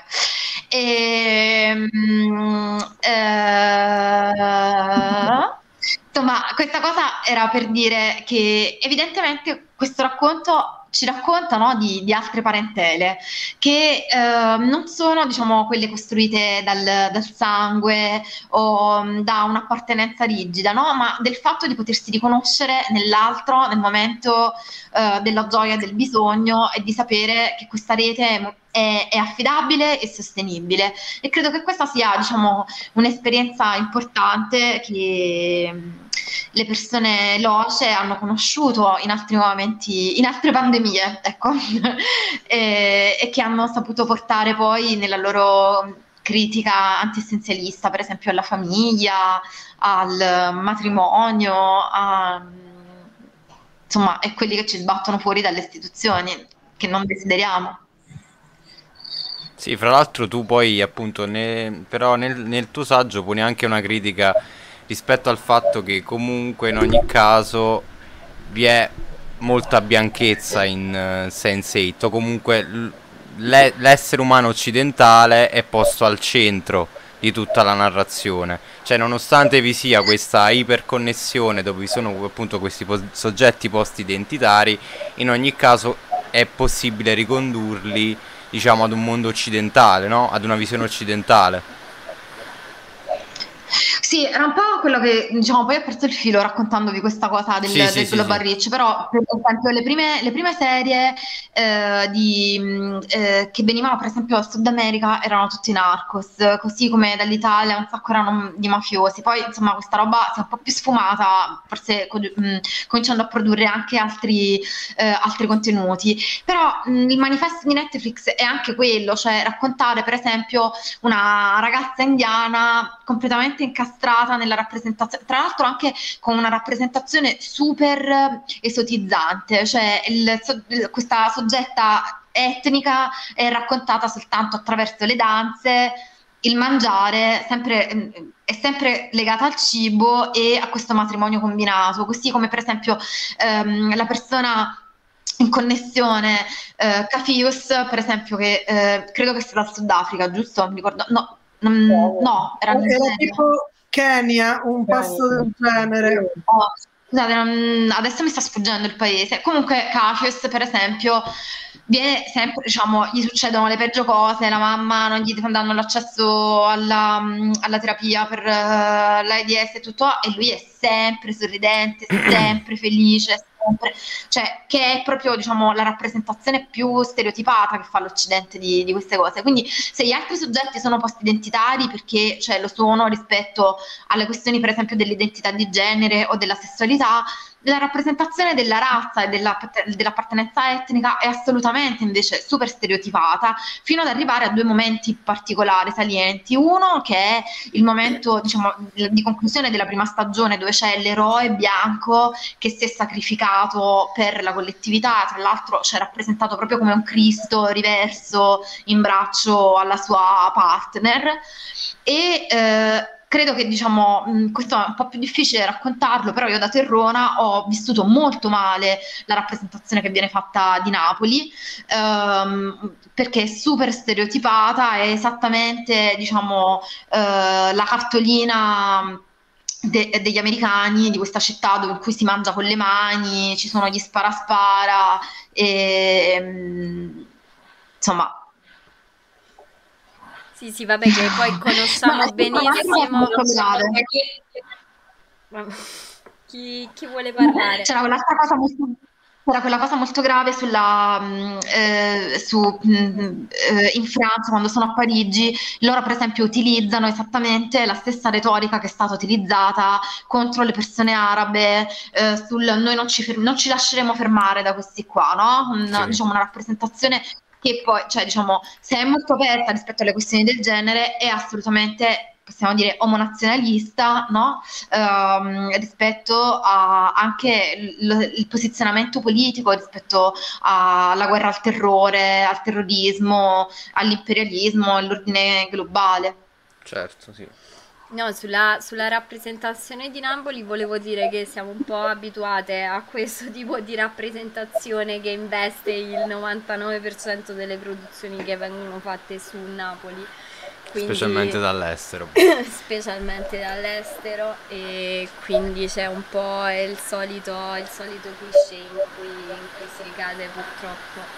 E, mm, Dolce Gabbana anche, no? Cioè, rappresenta, cioè era, quella, era, proprio uguale alle campagne di Dolce Gabbana su Napoli, in cui Napoli è rappresentata come un orso umano, dove ci sono delle persone che eh, assomigliano a degli, a degli, animali in contrasto a queste, queste modelli, queste attrici bellissime che vengono lì a raccontare la loro storia in questo contesto folclorico, no? Sì. Dove le, i soggetti lì sono, sono degli animaletti. Colgo l'occasione per farvi una domanda a Nina e a Miss Borg. Eh, se eh, vi viene in mente una rappresentazione mediatica eh, fiction di Napoli che vi sia piaciuta, che vi sembra che renda giustizia alla città. A me non me ne viene in mente nessuna, però magari a voi sì, di più, non lo so. Mina Settembre. Attualmente non so nessuna. Una rappresentazione di Napoli che pensi che sia che sia fedele. Che sia fedele. Non so, in questo momento non mi viene nessuna in mente, dico la verità. Tu um, Sai cosa pensavo? Per esempio, l'amica geniale eh, hanno fatto questa cosa eh, insopportabile, per esempio, di eh, per, mh, mm, raccontare come Camorra quello che in realtà è la violenza, la violenza di strada, una violenza come anche nei testi, no? È, una, è, la violenza diffusa della città che c'è, è innegabile dire che non ci sia, no? Cioè sarebbe sciocco dire che non c'è. Il punto è che lì in, mm, in una di, eh, in una di meno, oh, in, l'amica geniale viene raccontata eh, come, mm, eh, come Camorra. Il punto però è che c'è qualcosa di molto intelligente la serie, che è quella là invece di raccontarla eh, evidentemente raccontata come se fosse una scenografia, no?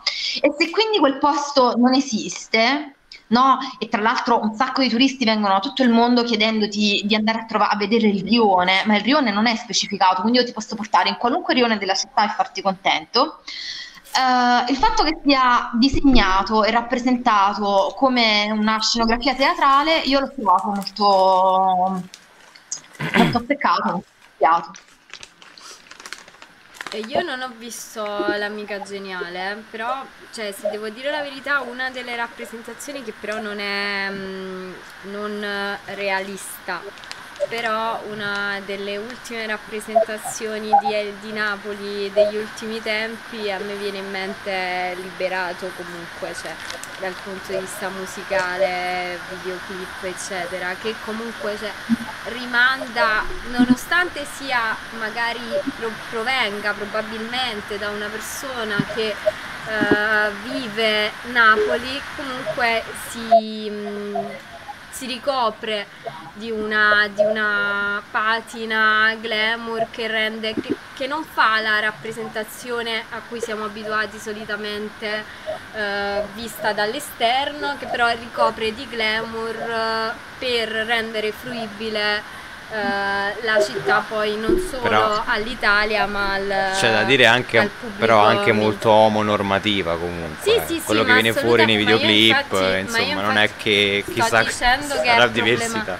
Sto cioè. dicendo assolutamente che non è una rappresentazione uh, sì, sì, fedele o che comunque cioè, apprezzabile in questo senso però era una delle rappresentazioni che è emersa negli ultimi anni che mi era venuta in mente a livello sì, magari sì. internazionale oltre all'amica geniale eccetera. Sì.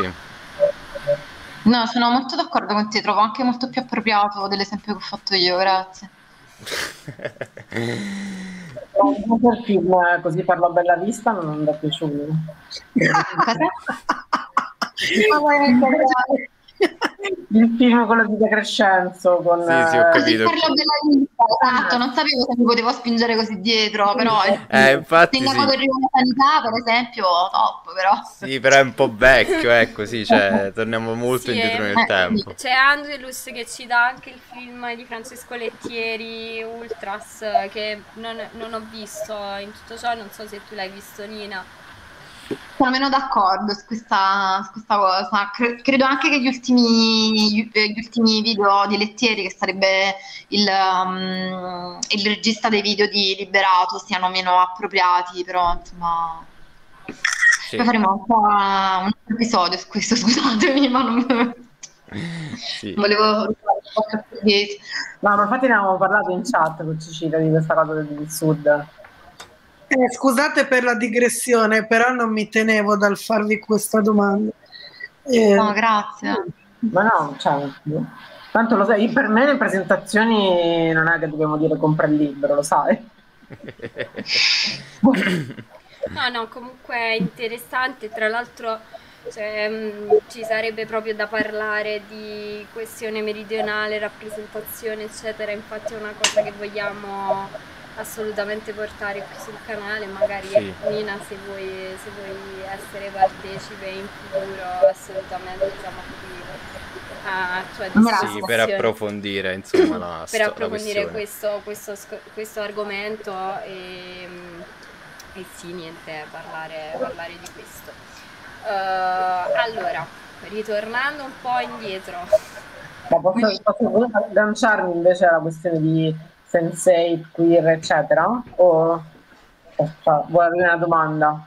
Sì, sì, sì, no, cioè, tra l'altro mi veniva da dire che rispetto poi alle rappresentazioni sulle questioni etniche, come dicevi anche tu prima, è un po' come sempre eh, lo sguardo occidentale che, che guarda il, il Occidental mondo. Gates, che guarda il mondo in questo in questo senso e quindi ne, lo, lo rappresenta allo stesso modo in cui lo percepisce. Beh, su questo ad esempio a me sembra dire, l'autocensura evidente nel non mostrare la sessualità di Capius, che, mm-hmm. che cioè, è praticamente è, cioè, il personaggio africano, cioè l'uomo nero africano che non, non, non rientra molto nel, nel turbine erotico della, del cluster. Eh, mentre invece, come dire, la, la, la donna eh, indiana sì, perché comunque è soggetta invece al male gaze. e quindi è erotizzato, mentre l'uomo africano non, ha, non è erotizzato.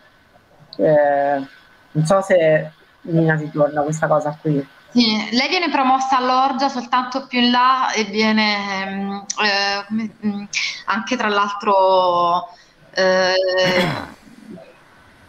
come si dice, invischiata in, eh, in questa triplet molto interessante. Però sì, una delle questioni importanti era che le soggettività, cioè era proprio eh, tutte le persone queer sono bianche, tutte le persone straight, tutte le persone razzializzate sono straight, no? Cioè che proprio uno dei, dei cardini del femminismo black era tutti gli uomini, so, tu, eh, tutti i neri so, sono uomini, tutte le donne sono bianche. No, no la, cioè, fidan- cioè, una... la, fidanzata di Nomi è nera però, eh? Sì, hai ragione, hai ragione. Eh, però il punto non è tanto sulla, cioè, hai assolutamente ragione, mi era sfuggita questa cosa, però probabilmente non è tanto, cioè, che fa parte un po' della rappresentazione anche di, di quella San Francisco, no? Cioè che probabilmente mh, in, negli Stati Uniti quello si può, è importante, è vero anche che diciamo, c'è un racconto molto violento e struggente sulla lobotomia, no? eh, la patologizzazione di una persona trans, però è vero pure che rac- cioè, i racconti che sono fuori dal nucleo dell'Occidente sono anche derotizzati. Però visto che è donna, perché concordo con la tua analisi, eh, la coreana almeno nel flashback scopa, mentre invece il povero Cafius o Cafius, scusate, no. Fondamentalmente è l'unico alla fine che, eh, che non viene sessualizzato praticamente per niente. E invece su, cioè, facendo un collegamento tra, invece, tra Sensei e Pose, mi viene da dire che dire, de, ci possono essere, come se ci, poss- ci, possono essere solo un tot di cose, un tot di elementi eh, queer, di elementi eh, non normativi in una serie. Quindi eh, se sia in Pose che in Sense8 sono i rapporti tra i personaggi che sono non normativi, mentre i personaggi in sé non, eh, devono per forza avere, ehm, non possono disturbare troppo chi guarda e quindi sono molto, sono molto cioè l'interpretazione che ne do io è questa, nel senso che se abbiamo x 10 variabili, eh, 10 diciamo, eh, elementi della, della, della, storia, qualche elemento di, come dire, di, di sicurezza per gli spettatori e le spettatrici ci deve essere, quindi se i rapporti non sono i rapporti solidi, però i personaggi devono essere rassicuranti, devono essere cisnormati, mm-hmm. devono essere eh, belli e belle, devono essere buoni, perché sennò è troppo. Quindi Vabbè, il, queer, il queer rientra nei, nei, rapporti tra questi personaggi nella serie Sense8 e nella serie Pose che citavi, l'elemento queer. Sì, per il resto non è che, ci, non è che siano così, uh, come dire, um, non hanno una posizione così antagonista in un certo senso. Mi sì. Poi, poi, appunto volevamo chiedere a... a... Aspetta, forse stava dicendo qualcosa Nina prima. No, vabbè, volevo soltanto dire che in pose anche, eh, cioè io non sono una grandissima amante, però diciamo non riuscivo a formularla una critica spietata fino a quando Blanca non si mette a cantare, eh, non fa quella grande performance sull'inno eh, statunitense e lì cioè, dici vabbè ma veramente avevate bisogno di ricondurre tutta questa storia comunque nel coro di voci che deve intonare l'inno degli Stati Uniti cioè, perché a meno che quella roba lì non sia veramente come cioè quel gesto di riappropriazione delle comunità cicane che hanno tradotto l'inno statunitense per dire cioè, anche noi lo possiamo cantare no? Cioè, ed è un gesto di sovversione del, di, di, quelle parole. Invece in quella roba lì, super pat- in quel prodotto super patinato, quella cosa di poter dire comunque alla fine di tutto questo, comunque anche questo ha costruito, ha contribuito a costruire la grandezza della nostra patria, è veramente, cioè, ragazzi, anche meno. Beh, meglio Mina Settembre allora.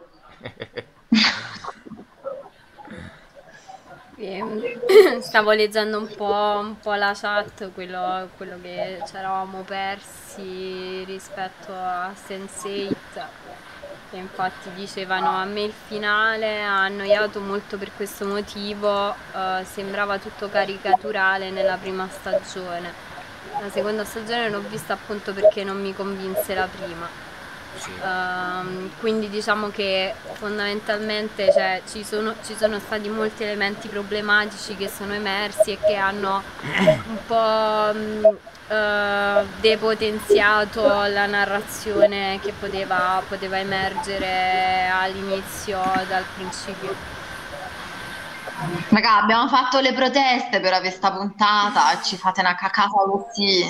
Cioè, abbiamo fatto poi quella roba insopportabile che è fatto tutto come se fosse un dono ai fan, no? E in particolare che ritorna quel dildo bagnato, rainbow. Io non lo voglio, questa, cioè io ho questa cagata eh, razzista, omonazionalista, cioè eh, a me, cioè, mm, no grazie. No. Sì, allora, app- poi appunto, cioè, allora, rispetto a tutto il discorso di cosa, di cosa è queer, Elisa nel suo saggio dice appunto la grassezza è queer, afferma, uh, così comincia il suo saggio dicendo, affermando la grassezza è queer. E appunto volevamo uh, appunto parlare rispetto a, a um, in che modo la grassezza si impone uh, a, ne, nella queerness, ecco, cioè ne, ne, nelle rappresentazioni, cioè in che modo è stata rappresentata in questo, poi anche negli ultimi anni, cioè, c'è l'esempio delle, che riporti tu anche, e, e in che modo appunto può, eh, di, eh, il soggetto grasso diventa soggetto queer. Sì, le intersezioni, tu parli molto delle intersezioni che ci sono sia a livello di discriminazioni sia a livello di rappresentazioni tra i soggetti queer eh, e la fatness. Quindi... Sì, uh, infatti inizierei dal punto perché la grassezza è queer, che è la, una parte della vostra domanda, sì. che ci aiuta poi con la seconda.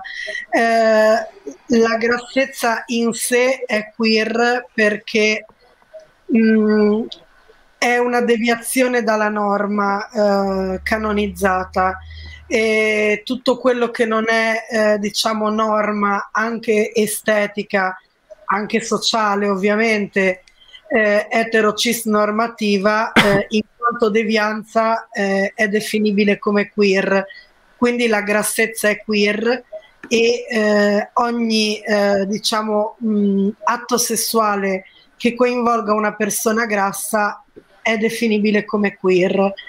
E eh, per questo fondamentalmente eh, diciamo la grassezza rientra nel, nell'alveo queer eh, diciamo e eh, la grassezza è sempre stata rappresentata orrendamente. E infatti io sono l'unica tra i vari saggi che si è dovuta sentire di iniziare il suo saggio spiegando il suo diritto a essere lì in sostanza. Penso che sia molto significativo, ma, eh, ma io l'ho fatto perché pensavo che fosse giusto farlo, perché mi rendevo conto che eh, poteva sembrare non relato eh, a chi magari non avesse una conoscenza un po' più approfondita dei concetti del queer, e, ehm, e pensavo di doverlo fare. Ecco, eh, quindi ancora una volta nella vita giustifico la mia presenza da qualche parte. Ecco, è il destino delle grasse queer. E, ehm, quindi, stante questo, le grasse sono sempre state, parlo al femminile usando il femminile universale e inoltre è una questione che per quanto negli ultimi anni la progressiva oggettivizzazione anche del corpo eh, maschile o con espressione di genere maschile eh, inizi a cambiare un po' il trend, storicamente eh, il corpo oggettivizzato è quello femminile e quindi il, il valore di essere magra è tutto femminile, eh, in quanto il corpo maschile passa in secondo piano rispetto al, al potere che attraversa il soggetto maschio, no? Quindi eh, nella sua costante oggettivizzazione la grassa è femmina, cioè la grassa è donna fondamentalmente, anche perché eh, tra le varie caratteristiche della, dello stigma, delle mille sfaccettature dello stigma, i grassi, eh, a meno che non siano eh, gay bear, ma qui è tutta una sottocategoria, una sottocultura, eccetera, in cui non mi addentrerei ora, i grassi tendenzialmente vengono ehm, percepiti come quasi femminei in quanto portatori di forme non tradizionalmente maschili. Quindi sì, dico le grasse per tutti questi motivi qua, non solo per usare un femminile universale.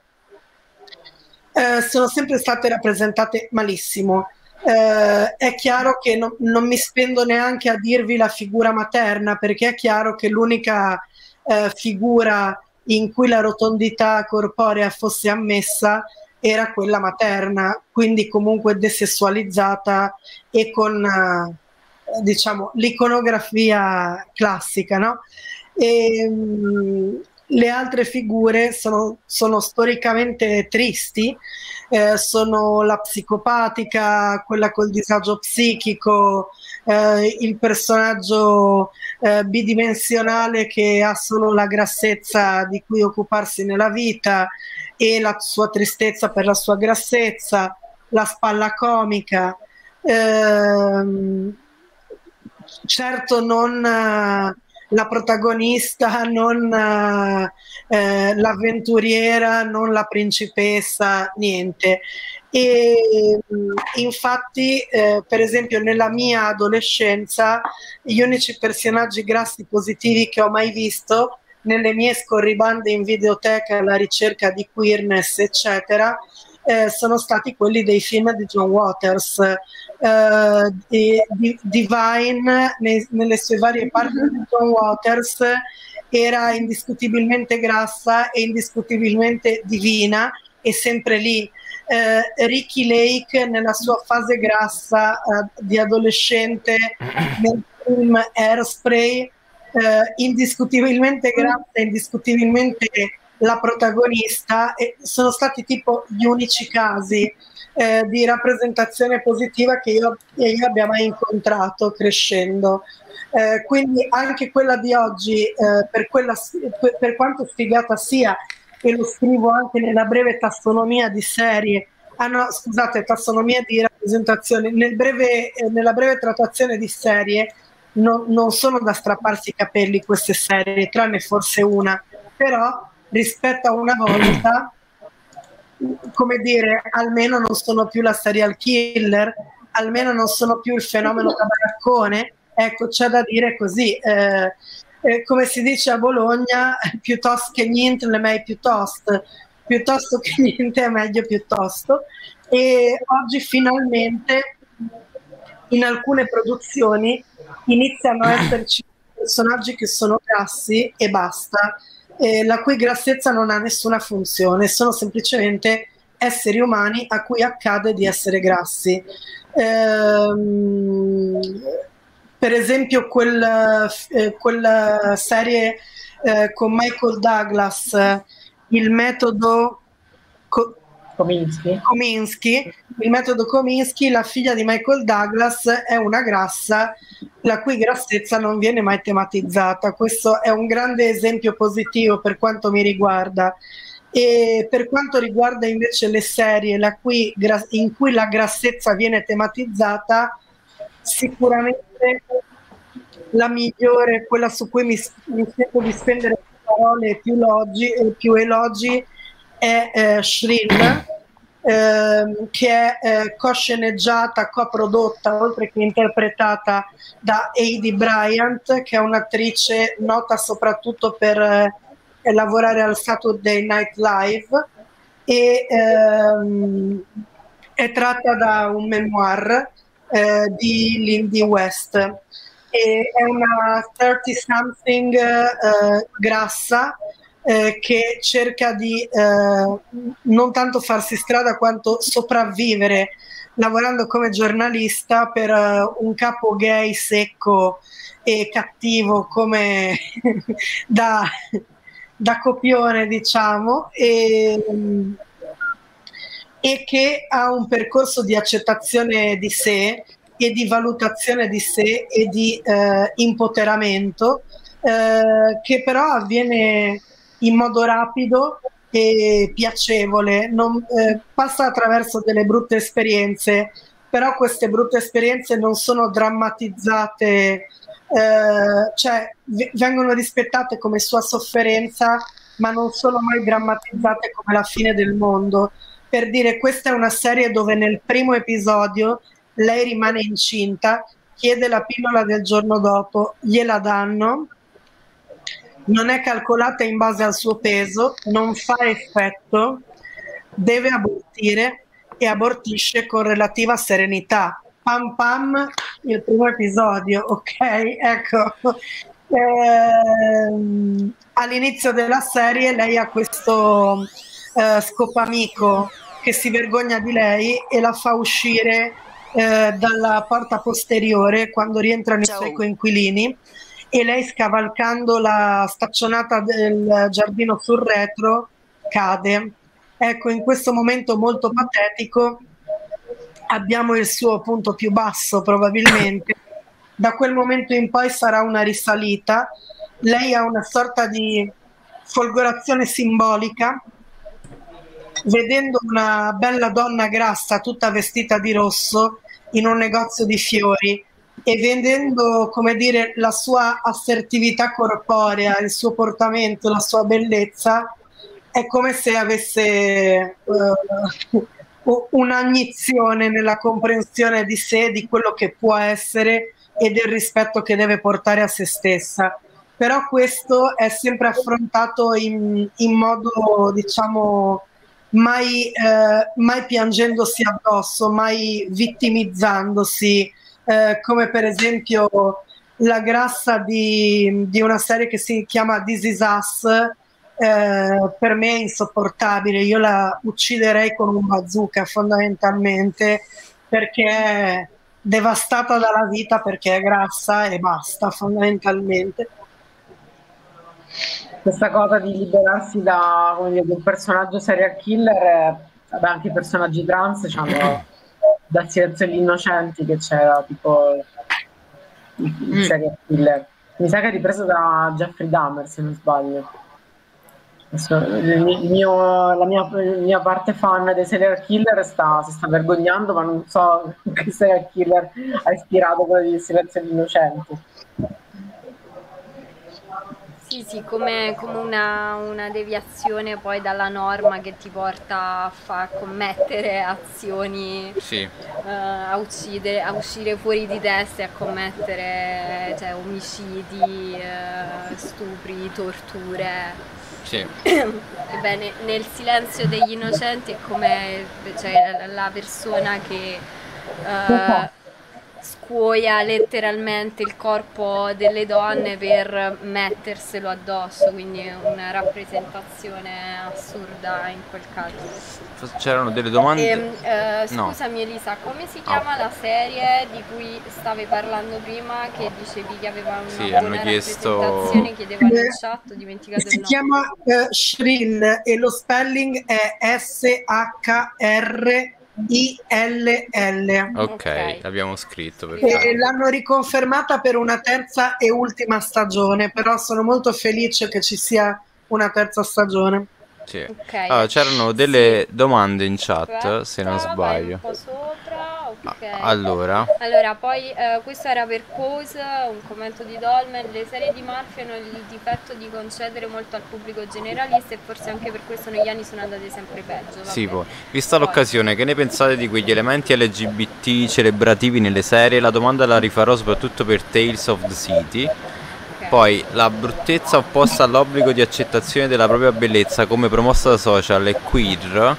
E poi uh, penso che il corpo grasso sia fra, fra, quelli che più subiscono la violenza patologizzante e medicalizzante. Quando Cosmopolitan UK ha pubblicato quelle copertine scrivendo di Healthy è successo il pandemonio. Mettevano il link dell'articolo.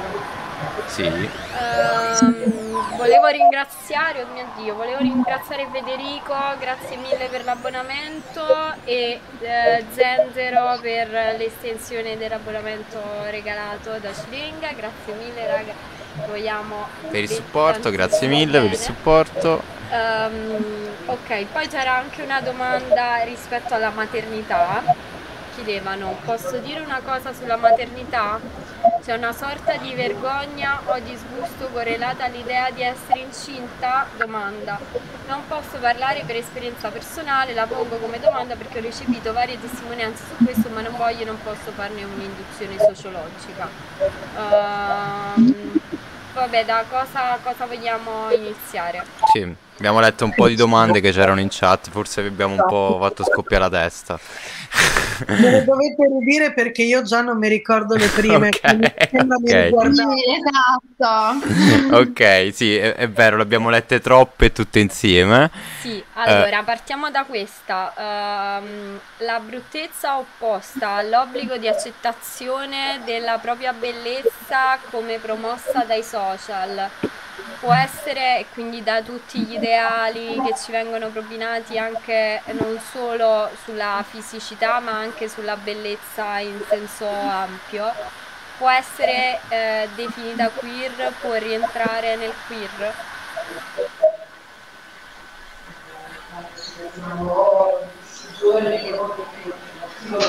chi deve rispondere? Chi vuole? Chi vuole? Chi vuole? Chi vuole? Io, io aspettavo che rispondessi tu, Elisa. Va bene, rispondo su questo. Però che poi. No, no, dico che eh, posta in questi esatti termini in cui è posta, rispondo di sì. Eh, però poi vorrei anche discutere che cos'è la bellezza e che cos'è la bruttezza, perché certo. sono eh, certo, eh, certo. dei costrutti culturali pazzeschi che sono, mh, mm, hanno subito, eh, cioè eh, noi oggi pensiamo di sapere che cosa sia la bellezza eh, abbiamo ideali di riferimento, almeno per, parlo per l'Occidente, che è l'unica cosa che conosco, quindi mi sento di parlare di quello, e, e crediamo che sia sempre stata questa l'idea di bellezza. Quindi ehm, cosa sia la bellezza e cosa sia la bruttezza dei corpi, penso che sia eh, diciamo una cosa su cui potremmo discettare per ore eh, ci sono eh, parametri innati, l'occhio umano è eh, diciamo eh, settato per apprezzare la simmetria ehm, o, o eh, almeno a livello della simmetria dei, dei volti e dei lineamenti, eh, ma per il resto che cos'è bello, che cos'è brutto. Per quanto riguarda poi la grassezza, ehm, anche eh, diciamo, eh, l'orrore per la grassezza e lo stigma sociale per la grassezza crescono eh, a partire diciamo, dai primi del Novecento eh, e, e eh, crescono per, per, una serie di motivi, non, eh, non ultimo anche quello legato alla razzializzazione della grassezza. Nel senso che i corpi delle donne eh, afroamericane eh, dell'epoca tendevano a essere eh, sicuramente più rotondi eh, del, dello standard di bellezza di discendenza europea eh, che c'era per, per, le americane in quell'epoca e per, per una serie di vari altri eh, intrecci, diciamo, si arriva poi anche a questo, che uno degli elementi dell'odio per la grassezza è comunque il risultato della razzializzazione dei corpi delle donne. E poi c'è eh. stata anche comunque negli ultimi, negli ultimi anni una appropriazione culturale, tra virgolette, di, quella, di quello che può essere definito eh, le, le, forme dei corpi, dei corpi neri. Uh, cioè quanto gli ideali di bellezza cui, che vediamo oggi hanno comunque delle, delle forme molto accentuate uh, di femminilità che riprendono un po' uh, quello che è stato rigettato fino a questo momento. Io mi aggancio a questa cosa qui invece rispetto a, um, alla questione della, di bellezza rispetto um, ai corpi trans che ovviamente, cioè ovviamente eh, cioè quanto, quanto, più una persona trans ha un passing alto, eh, quanto più è considerata bella, anche se... Um, cioè nel senso che deve, deve, ci sono due valori diciamo, da raggiungere, uno è il passing e uno è, è il valore di dire, la bellezza canonica di genere, per cui una donna mm. trans non solo deve passare molto, ma deve anche essere molto bella. E quindi eh, soprattutto per le donne trans è molto difficile da, da, da, da sostenere in un certo senso. Molto e... bella che poi si, si, riconduce comunque a molto femminile, cioè in questo caso. Poi. Sì, cioè eh, se vediamo sia eh, che ne so, appunto le tutte le protagoniste di Pose o anche ehm, il personaggio di cui non mi ricordo il nome che sta di dentro Euforia, cioè sono tutte bellissime e, e, e non, c'è più quella, come dire, quella, quell'elemento di rottura rispetto alla cisnormatività, rispetto anche alla rottura del, ehm, dell'idea di bellezza. fatto un complimento in diretta, un po' quella di Euphoria ti assomiglia come lineamenti del volto. A me? Sì, passo e chiudo. Tra l'altro c'era anche una domanda su Euforia, colgo, colgo l'occasione per, per, leggerla, appunto chiedevano se il personaggio di Kat può essere considerata una no, narrazione sì. positiva. Quindi... Per Kat penso, eh, per Lisa la domanda, sì, che non si chiama Kat, quella che come si chiama? Non mi ricordo i nomi. Sì, sì, penso, penso di sì. Penso sia gatto, sì, pen- penso. Sì, oh, vediamo un attimo. Uh, no. Sì, è per Elisa. Ah, ok. Ok, ah, ok, ok, ah, ok, ah, sì, sì, sì. Ok, scusate, un po' confusione con i personaggi. Allora, comunque anche, anche, rispetto alla narrazione trans in Euforia, Antonia, se vuoi rispondere, o anche Nina che, che, ormai la vediamo. Col bicchiere di vino che si è accomodata e ti sorse... Sì, fa una bruschetta in un occhio. Sto perdendo un occhio, guardate. Fate, prego. Chi, chi, vuole rispondere tra voi? C'è una domanda specifica su Euforia, a parte quella di Kat. No, dato che c'era la domanda di Katy, avevo confuso i, i due personaggi, eh, però appunto c'è anche rispetto alla, alla narrazione trans, cioè come, come la rappresentazione trans, se volete rispondere. Io, io la trovo molto, molto positiva perché, vabbè, ovviamente ehm, allora, la cosa positiva che, che, sto vedendo è che eh, ci sono sempre più serie corali. Eh, uno, una, una un personaggio trans e che quindi vengono anche, come dire, c'è un tipo di socializzazione che è diverso, non c'è il personaggio trans che è tipo da solo nell'universo, come ad esempio una cosa che ho notato molto in, in una donna, una mujer fantastica, adesso il titolo italiano non mi ricordo, che è un film molto bello, però la protagonista era completamente da sola, cioè non aveva legami sociali. Invece in queste nuove serie, come ad esempio appunto Euphoria o anche...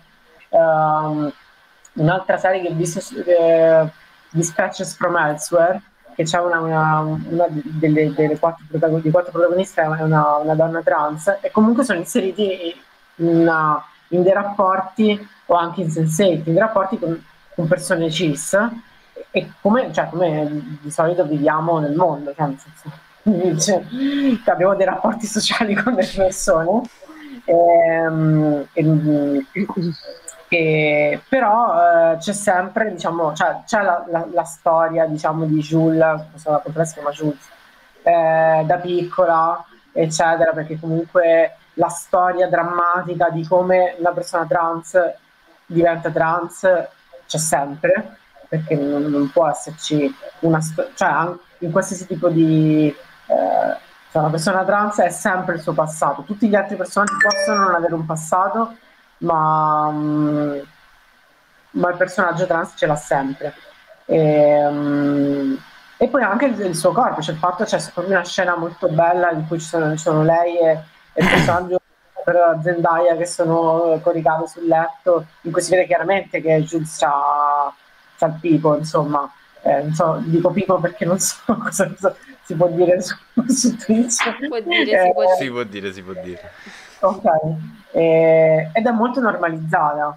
Ehm, certo, poi è sempre la solita storia di adolescenti americani, quindi eh, anche basta. Sì, io su Euforia e la grassa di Euforia devo dire, a- approfitto per dire un paio di cose. Ammetto che non ho ancora finito di vederlo perché mi mette un certo senso di malessere ehm, personalmente. E eh, un'altra cosa che volevo dire mi sono dimenticata, mannaggia. Comunque sia, ah sì, che anche la- come la trans rappresentata alla TV deve essere una trans eh, bella con un altissimo passing, bella secondo i canoni della espressività tradizionale del genere femminile, eteronormativo, bidibim, bidibom, Eh, non dico bella in assoluto, casomai qualcun se lo chiedesse.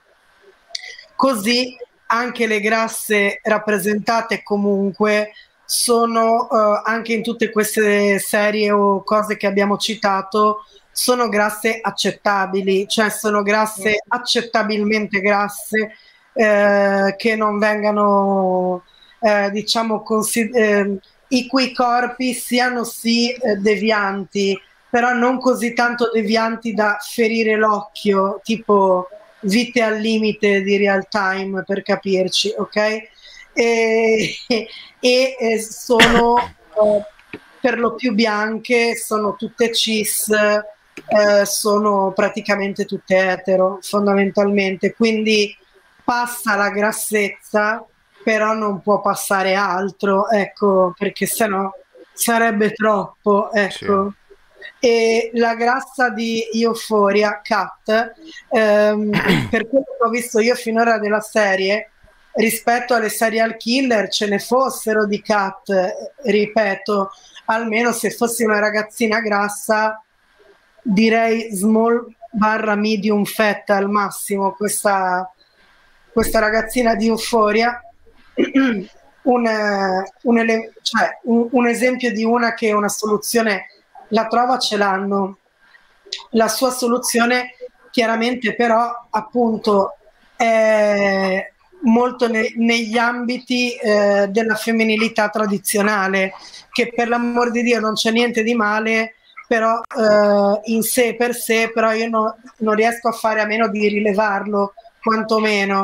Nel senso che lei eh, diventa il soggetto attivo che induce negli altri la, la sua oggettificazione sessuale, quindi se lo cerca, però risolve la, mh, eh, il suo problema di disagio da grassa ipersessualizzandosi e iperfemminilizzandosi, che è una delle risposte classiche delle, delle ragazze grasse, cioè performare con un al, eh, al massimo della performance di genere possibile, essere sempre curatissima, sempre col trucco a posto, sempre coi capelli fatti, è una delle classiche strategie della grassa per sopravvivere e attenuare un po' lo stigma dei suoi confronti e far dire è grassa ma.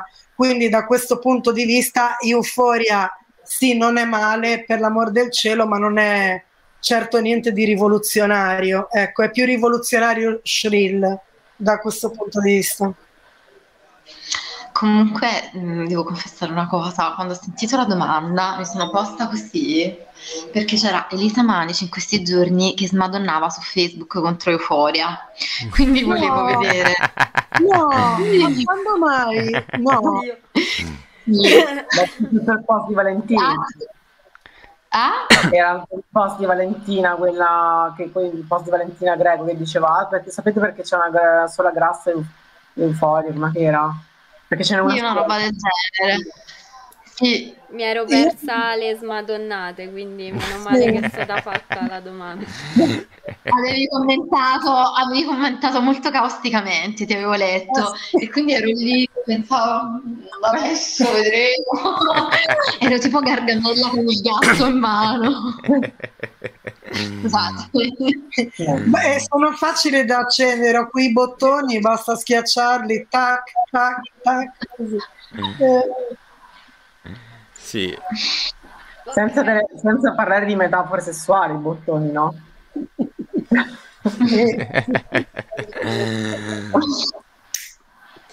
Allora, c'erano qualche domanda, forse ce la siamo persa. Comunque ci siamo dilungate un bel po' Sì. stasera, quindi se siete, siete stanche, magari volete staccare tra poco. Sì, magari appunto tempo di qualche altra domanda e magari poi chiudiamo, ecco. Sì, sì, sì. Sì, ehm, e però, cioè, ci sono Sì. delle, delle conclusioni importanti a cui Sì. giungere, data- dato tutto quello che abbiamo detto finora, eh, e in parte abbiamo già risposto. Eh, però appunto cioè, mettendo in fila un po' tutti i ragionamenti come migliorare appunto la rappresentazione eh, della queerness nei- nelle serie tv e nei media in generale Ehm, appunto eh, due delle, delle soluzioni che emergevano eh, sia in generale nel libro ma anche nel saggio di Elisa è la questione dell'agency, quindi del permettere alle persone queer di raccontare le proprie storie, di scrivere le proprie storie, di mettere in scena le proprie storie, oltre alla questione del- della pluralità eh, quindi del moltiplic- moltiplicarsi delle storie che hanno al proprio interno dei personaggi queer eh, in modo tale da non focalizzare eh, l'attenzione su determinate rappresentazioni che diventano poi di conseguenza stereotipate. Quindi chi, chi vuole iniziare? Vedo Nina pronta. No, no, no, sto prendendo appunti. Ah, sono ok, pronta. ok. Scusa, mi sono distratto un attimo e stavo rispondendo a eh, Zanzaro che mi chiedeva di questo film Alice eh, o Alice Junior, che ho Sì. visto che ha vinto i Divergenti l'anno scorso, eh, che però non l'ho visto. Eh, l'anno scorso Divergenti l'hanno fatto online e mh, invece ho visto due documentari molto belli che sono Indianara e Bici Travesti e Indianara tra l'altro è ancora su Mubi Mm. che vuole vedere che però sono, sono appunto documentari quindi sono, diciamo che eh, noi siamo sia in gaze ma poi anche stasera parliamo di, di rappresentazione eh, di fiction ed è proprio stiamo su un altro tipo di narrazione quindi perché poi c'è, c'è tutta dire la questione documentari ehm, ma anche reality che, che è proprio un altro tipo di un altro tipo di discorso anche rispetto che ne so a- alle drag per cui Nina eh, cioè, ha scritto, ha scritto molto nel suo libro su di drag anche. Ehm, fa finta di niente però è così.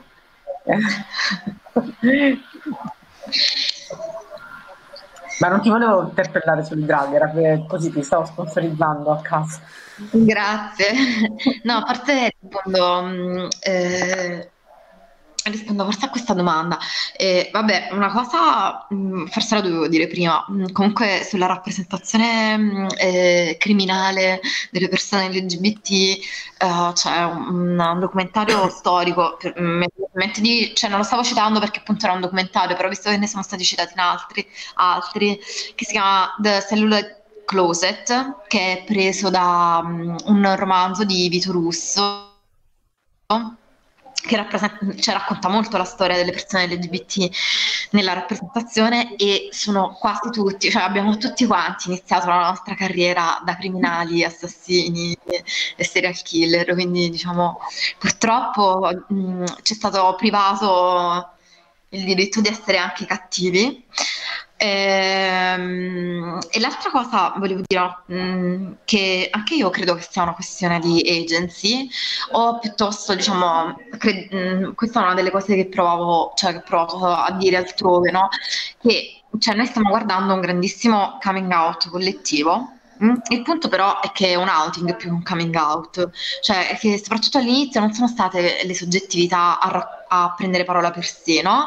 ma che sono state raccontate.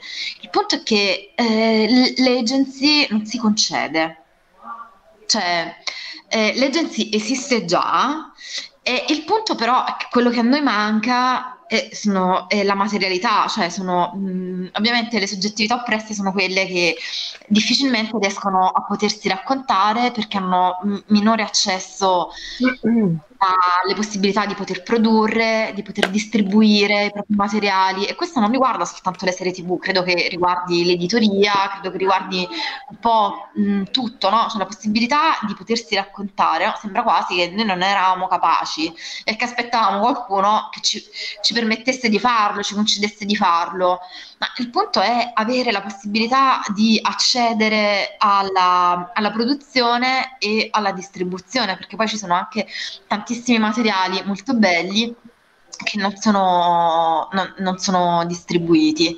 E, o ancora peggio, per esempio, io sono tale programmer di un festival eh, molto bello che è stato citato prima, che è sempre Fair Cake, e per esempio non si riesce a trovare, mentre c'è molta distribu- molta, eh, molto materiale, anche molto bello nei documentari, c'è pochissimo di fiction molto molto poco.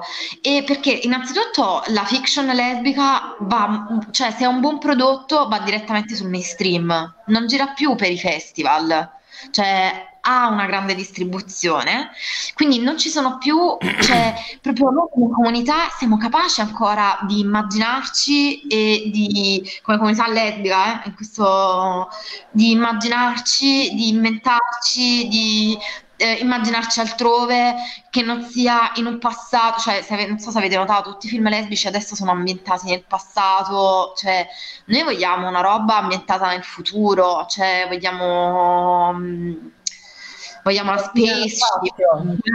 Eh? Lesbiche nello spazio, questa è una... una... quello è stato vaso, no? Infatti, a proposito, a proposito di lesbiche nello spazio, un, una volta io curavo un piccolo festival che non esiste più, che si chiamava Soggettiva, e un anno aprimmo con uh, un film eh, in bianco e nero, volutamente in bianco e nero, lo fai, eccetera, eccetera, che parlava di lesbiche eh, che, aliene che venivano dallo spazio. Faceva la parodia ai film di fantascienza degli anni 50. E ce ne vorrebbero di più. Era stato un una tantum quel film lì, praticamente. Non... Tipo una roba su Mars, Lesbian on Mars. Sì, una roba così. In questo momento non mi sovviene il titolo, lo troverò. E tu ce l'hai ancora? Io l'ho cercato ovunque quello. Forse ci devo avere qualche DVD masterizzato in qualche angolo della casa, forse. Eh, quindi potrei, potrei procurartelo probabilmente. Eh, no, io la questione della, dell'agency approfitto per farne un discorso, sono d'accordo con tutto quello che ha detto Nina e ehm, approfitto per aggiungere che eh, in quanto persone queer e anticapitaliste eh, ci fa schifo il sistema capitalista, ma c'è la contraddizione che per poter incidere davvero nell'immaginario delle masse per quanto riguarda le nostre soggettività, dovremmo, dobbiamo poter accedere ai mezzi di produzione, cioè integrarci maggiormente nel sistema capitalista. Eh, è una roba da questo punto di vista senza via d'uscita, nel senso non, non c'è una soluzione. In ogni caso, anche se vieni rappresentato bene, hai sempre la, la, la consapevolezza di aver venduto l'anima al demonio quindi non c'è una soluzione. L'unica, la soluzione è appunto rimanere ai margini, però appunto rimanendo ai margini hai meno capacità di incisione. Eh, sicuramente alla, eh, alla lesbica quattordicenne che sta a Rocca Cannuccia le arriva più facilmente eh, la produzione di Netflix che non eh, i film che girano ai festival che pure ci piacciono tanto, capito? Quindi anche se riusciamo a fare una rappresentazione dirompente, è comunque importante che ci sia, però non arriva mai al mainstream. Per arrivare al mainstream, se ci vuoi arrivare, ti devi sporcare le mani, fondamentalmente. Sì. E infatti dicevo... rispetto... Vai, vai, vai, prima tu Antonia, vai. Ne parlavamo alla precedente, mm, come si dice, presentazione quando c'era, c'era anche Federica Fabiani su, su, su, sui personaggi ca- brutti e cattivi delle, delle serie. Dico, ah, a me non, il fatto che ci possano essere dei personaggi, delle personaggi lesbiche negative non, non, ha, dire, non, ha, non ha un'influenza sulla mia vita. E, in realtà secondo me questo è, è un buon... Cioè io spero che ci siano più personaggi LGBT negativi. Cioè, solo così riusciamo a uscirne. Cioè ad uscire proprio da questa cosa didattica del siamo, siamo esseri umani come voi, eh, tipo degli orsetti del cuore. Cioè, solamente criminali o solamente degli orsetti del cuore, ci può essere anche orsetti del cuore criminali, ecco. Sì, sì, sì difatti, difatti, difatti, pensavo proprio a questo prima mentre parlavate voi, appunto, cioè, ecco, pensavo appunto a un personaggio qualsiasi LGBT o appunto, cioè queer in generale, che però viene ritratto in una qualunque narrazione magari omonormativa Mm, però appunto come un killer, come, però è semplicemente appunto un personaggio LGBT. Eh, cioè, mh, mm, non è diciamo il... Cioè sì, è importante appunto la, la, la sua identità, però ecco, viene soltanto ritratto, cioè viene, si inserisce anche anch'esso in, quella, in quel, quel tipo di narrazione. Sono assolutamente d'accordo, però al contempo vi ricordo che in questa fase storica degli ultimi anni siamo a che le lesbiche hanno sostituito il comprimario nero degli anni 70 e 80 come comprimaria che muore. C'è anche una statistica in merito prodotta da GLAD, che è l'organizzazione americana che monitora le rappresentazioni mediatiche LGBT+, e che tra parentesi fondò uh, Vito Russo, che ha citato prima Nina, insieme a due americane prima di morire di AIDS. E, ehm, anche perché poi, cioè, in questo caso, questi personaggi LGBT vengono inseriti, mm, o in questo caso personaggi lesbici, vengono inseriti, uh, cioè, finalizzati alla narrazione quando, um, cioè, quando esauriscono il loro ruolo nella narrazione vengono uccisi, come è successo a tantissimi altri personaggi LGBT nel corso della storia, cioè dove la, la loro identità è finalizzata solo al, all'ascesa del personaggio principale che poi solitamente è sempre classico maschio bianco eteronormato. Sì. Um, vengono promossi dall'altro capo del mondo e si ciao.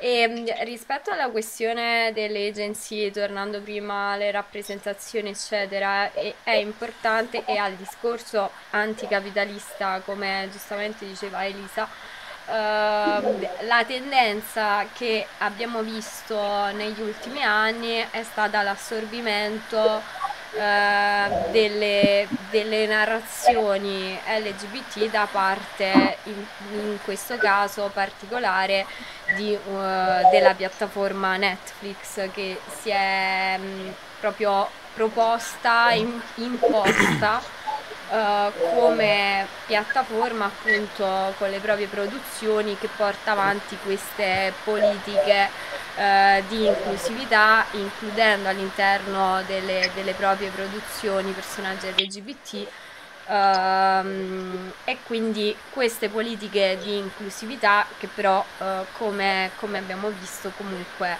uh, riscontrano molte molte limitazioni a partire uh, cioè, da un discorso più in generale di rainbow washing che non investe solo Netflix ma eh, in generale eh, tantissime aziende che magari durante il mese del Pride si vestono in quel modo perché si sono rese conto che le persone LGBT, che le persone queer esistono e sono potenziali clienti per, uh, per i loro prodotti. Uh, quindi assistiamo all'ennesima volta uh, ad un assorbimento da parte del sistema di alcune narrazioni.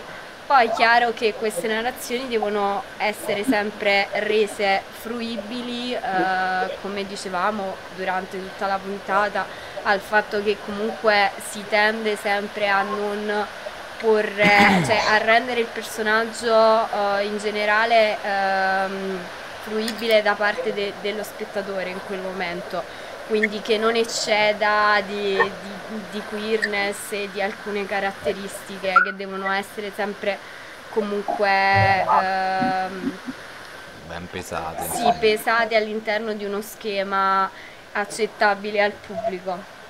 Uh, quindi semplicemente si vede uh, comunque la, um, i limiti ecco, di, di, queste narrazioni, di queste rappresentazioni ehm, che comunque tendono sempre a, ad allinearsi ad un sistema etero-cis normato e quindi resi accettabili allineandosi a quel sistema. Non so qual è la domanda, però sì, sì, discutiamone. Ah, sono dei commenti molto interessanti, mi sembra anche diciamo, che sei riuscito a ricostruire il filo delle cose che ci siamo dette. Sì, un po' ad esempio c'è Preso che dice è una strumentalizzazione, Io, secondo me non è eh, solo una, una strumentalizzazione, nel senso di, dividere eh, nettamente cosa è strumentalizzazione e cosa invece dire, è un, una rappresentazione eh, sincera e partecipata è molto difficile, però sì, sicuramente ci sono entrambe le cose. Sì. Più che altro appunto cioè, mi viene in mente la tua introduzione Antonia quando dici che su queste piattaforme vi è maggiore varietà e non inclusività, perché inclusività appunto significa essere subordinati a, a un, appunto alla narrazione dominante. Ecco. L'inclusività di base cioè, implica che qualcuno, cioè un agente di inclusività, cioè qualcuno sì. che ti deve dire entra. Sì. Eh, ti includo, per questo secondo me, cioè in generale parlare di inclusività è molto pericoloso perché in realtà non è dire, è una cosa che eh, eh, pone che ci sia una, una, cosa di disparità ancora più evidente. Cioè, sì. Che, sì, sì, inclusività è un termine estremamente problematico, quindi cioè... Infatti appunto usavo inclusività proprio per, cioè, ricondotto al discorso di Netflix in questo caso e del capitalismo, poi appunto inclusività chiaramente ha un'accezione molto negativa se, se ne parliamo in termini sì. di, di uh, riappropriazione, di, di, cioè di utilizzo di un termine per descrivere, perché cioè, non è che si vuole essere inclusi, ma appunto sì. Appunto perché uh, significherebbe... Uh, misurare l'inclusività rispetto a quanto si viene inclusi in quello stesso sistema ehm, normato. Ecco. Sì.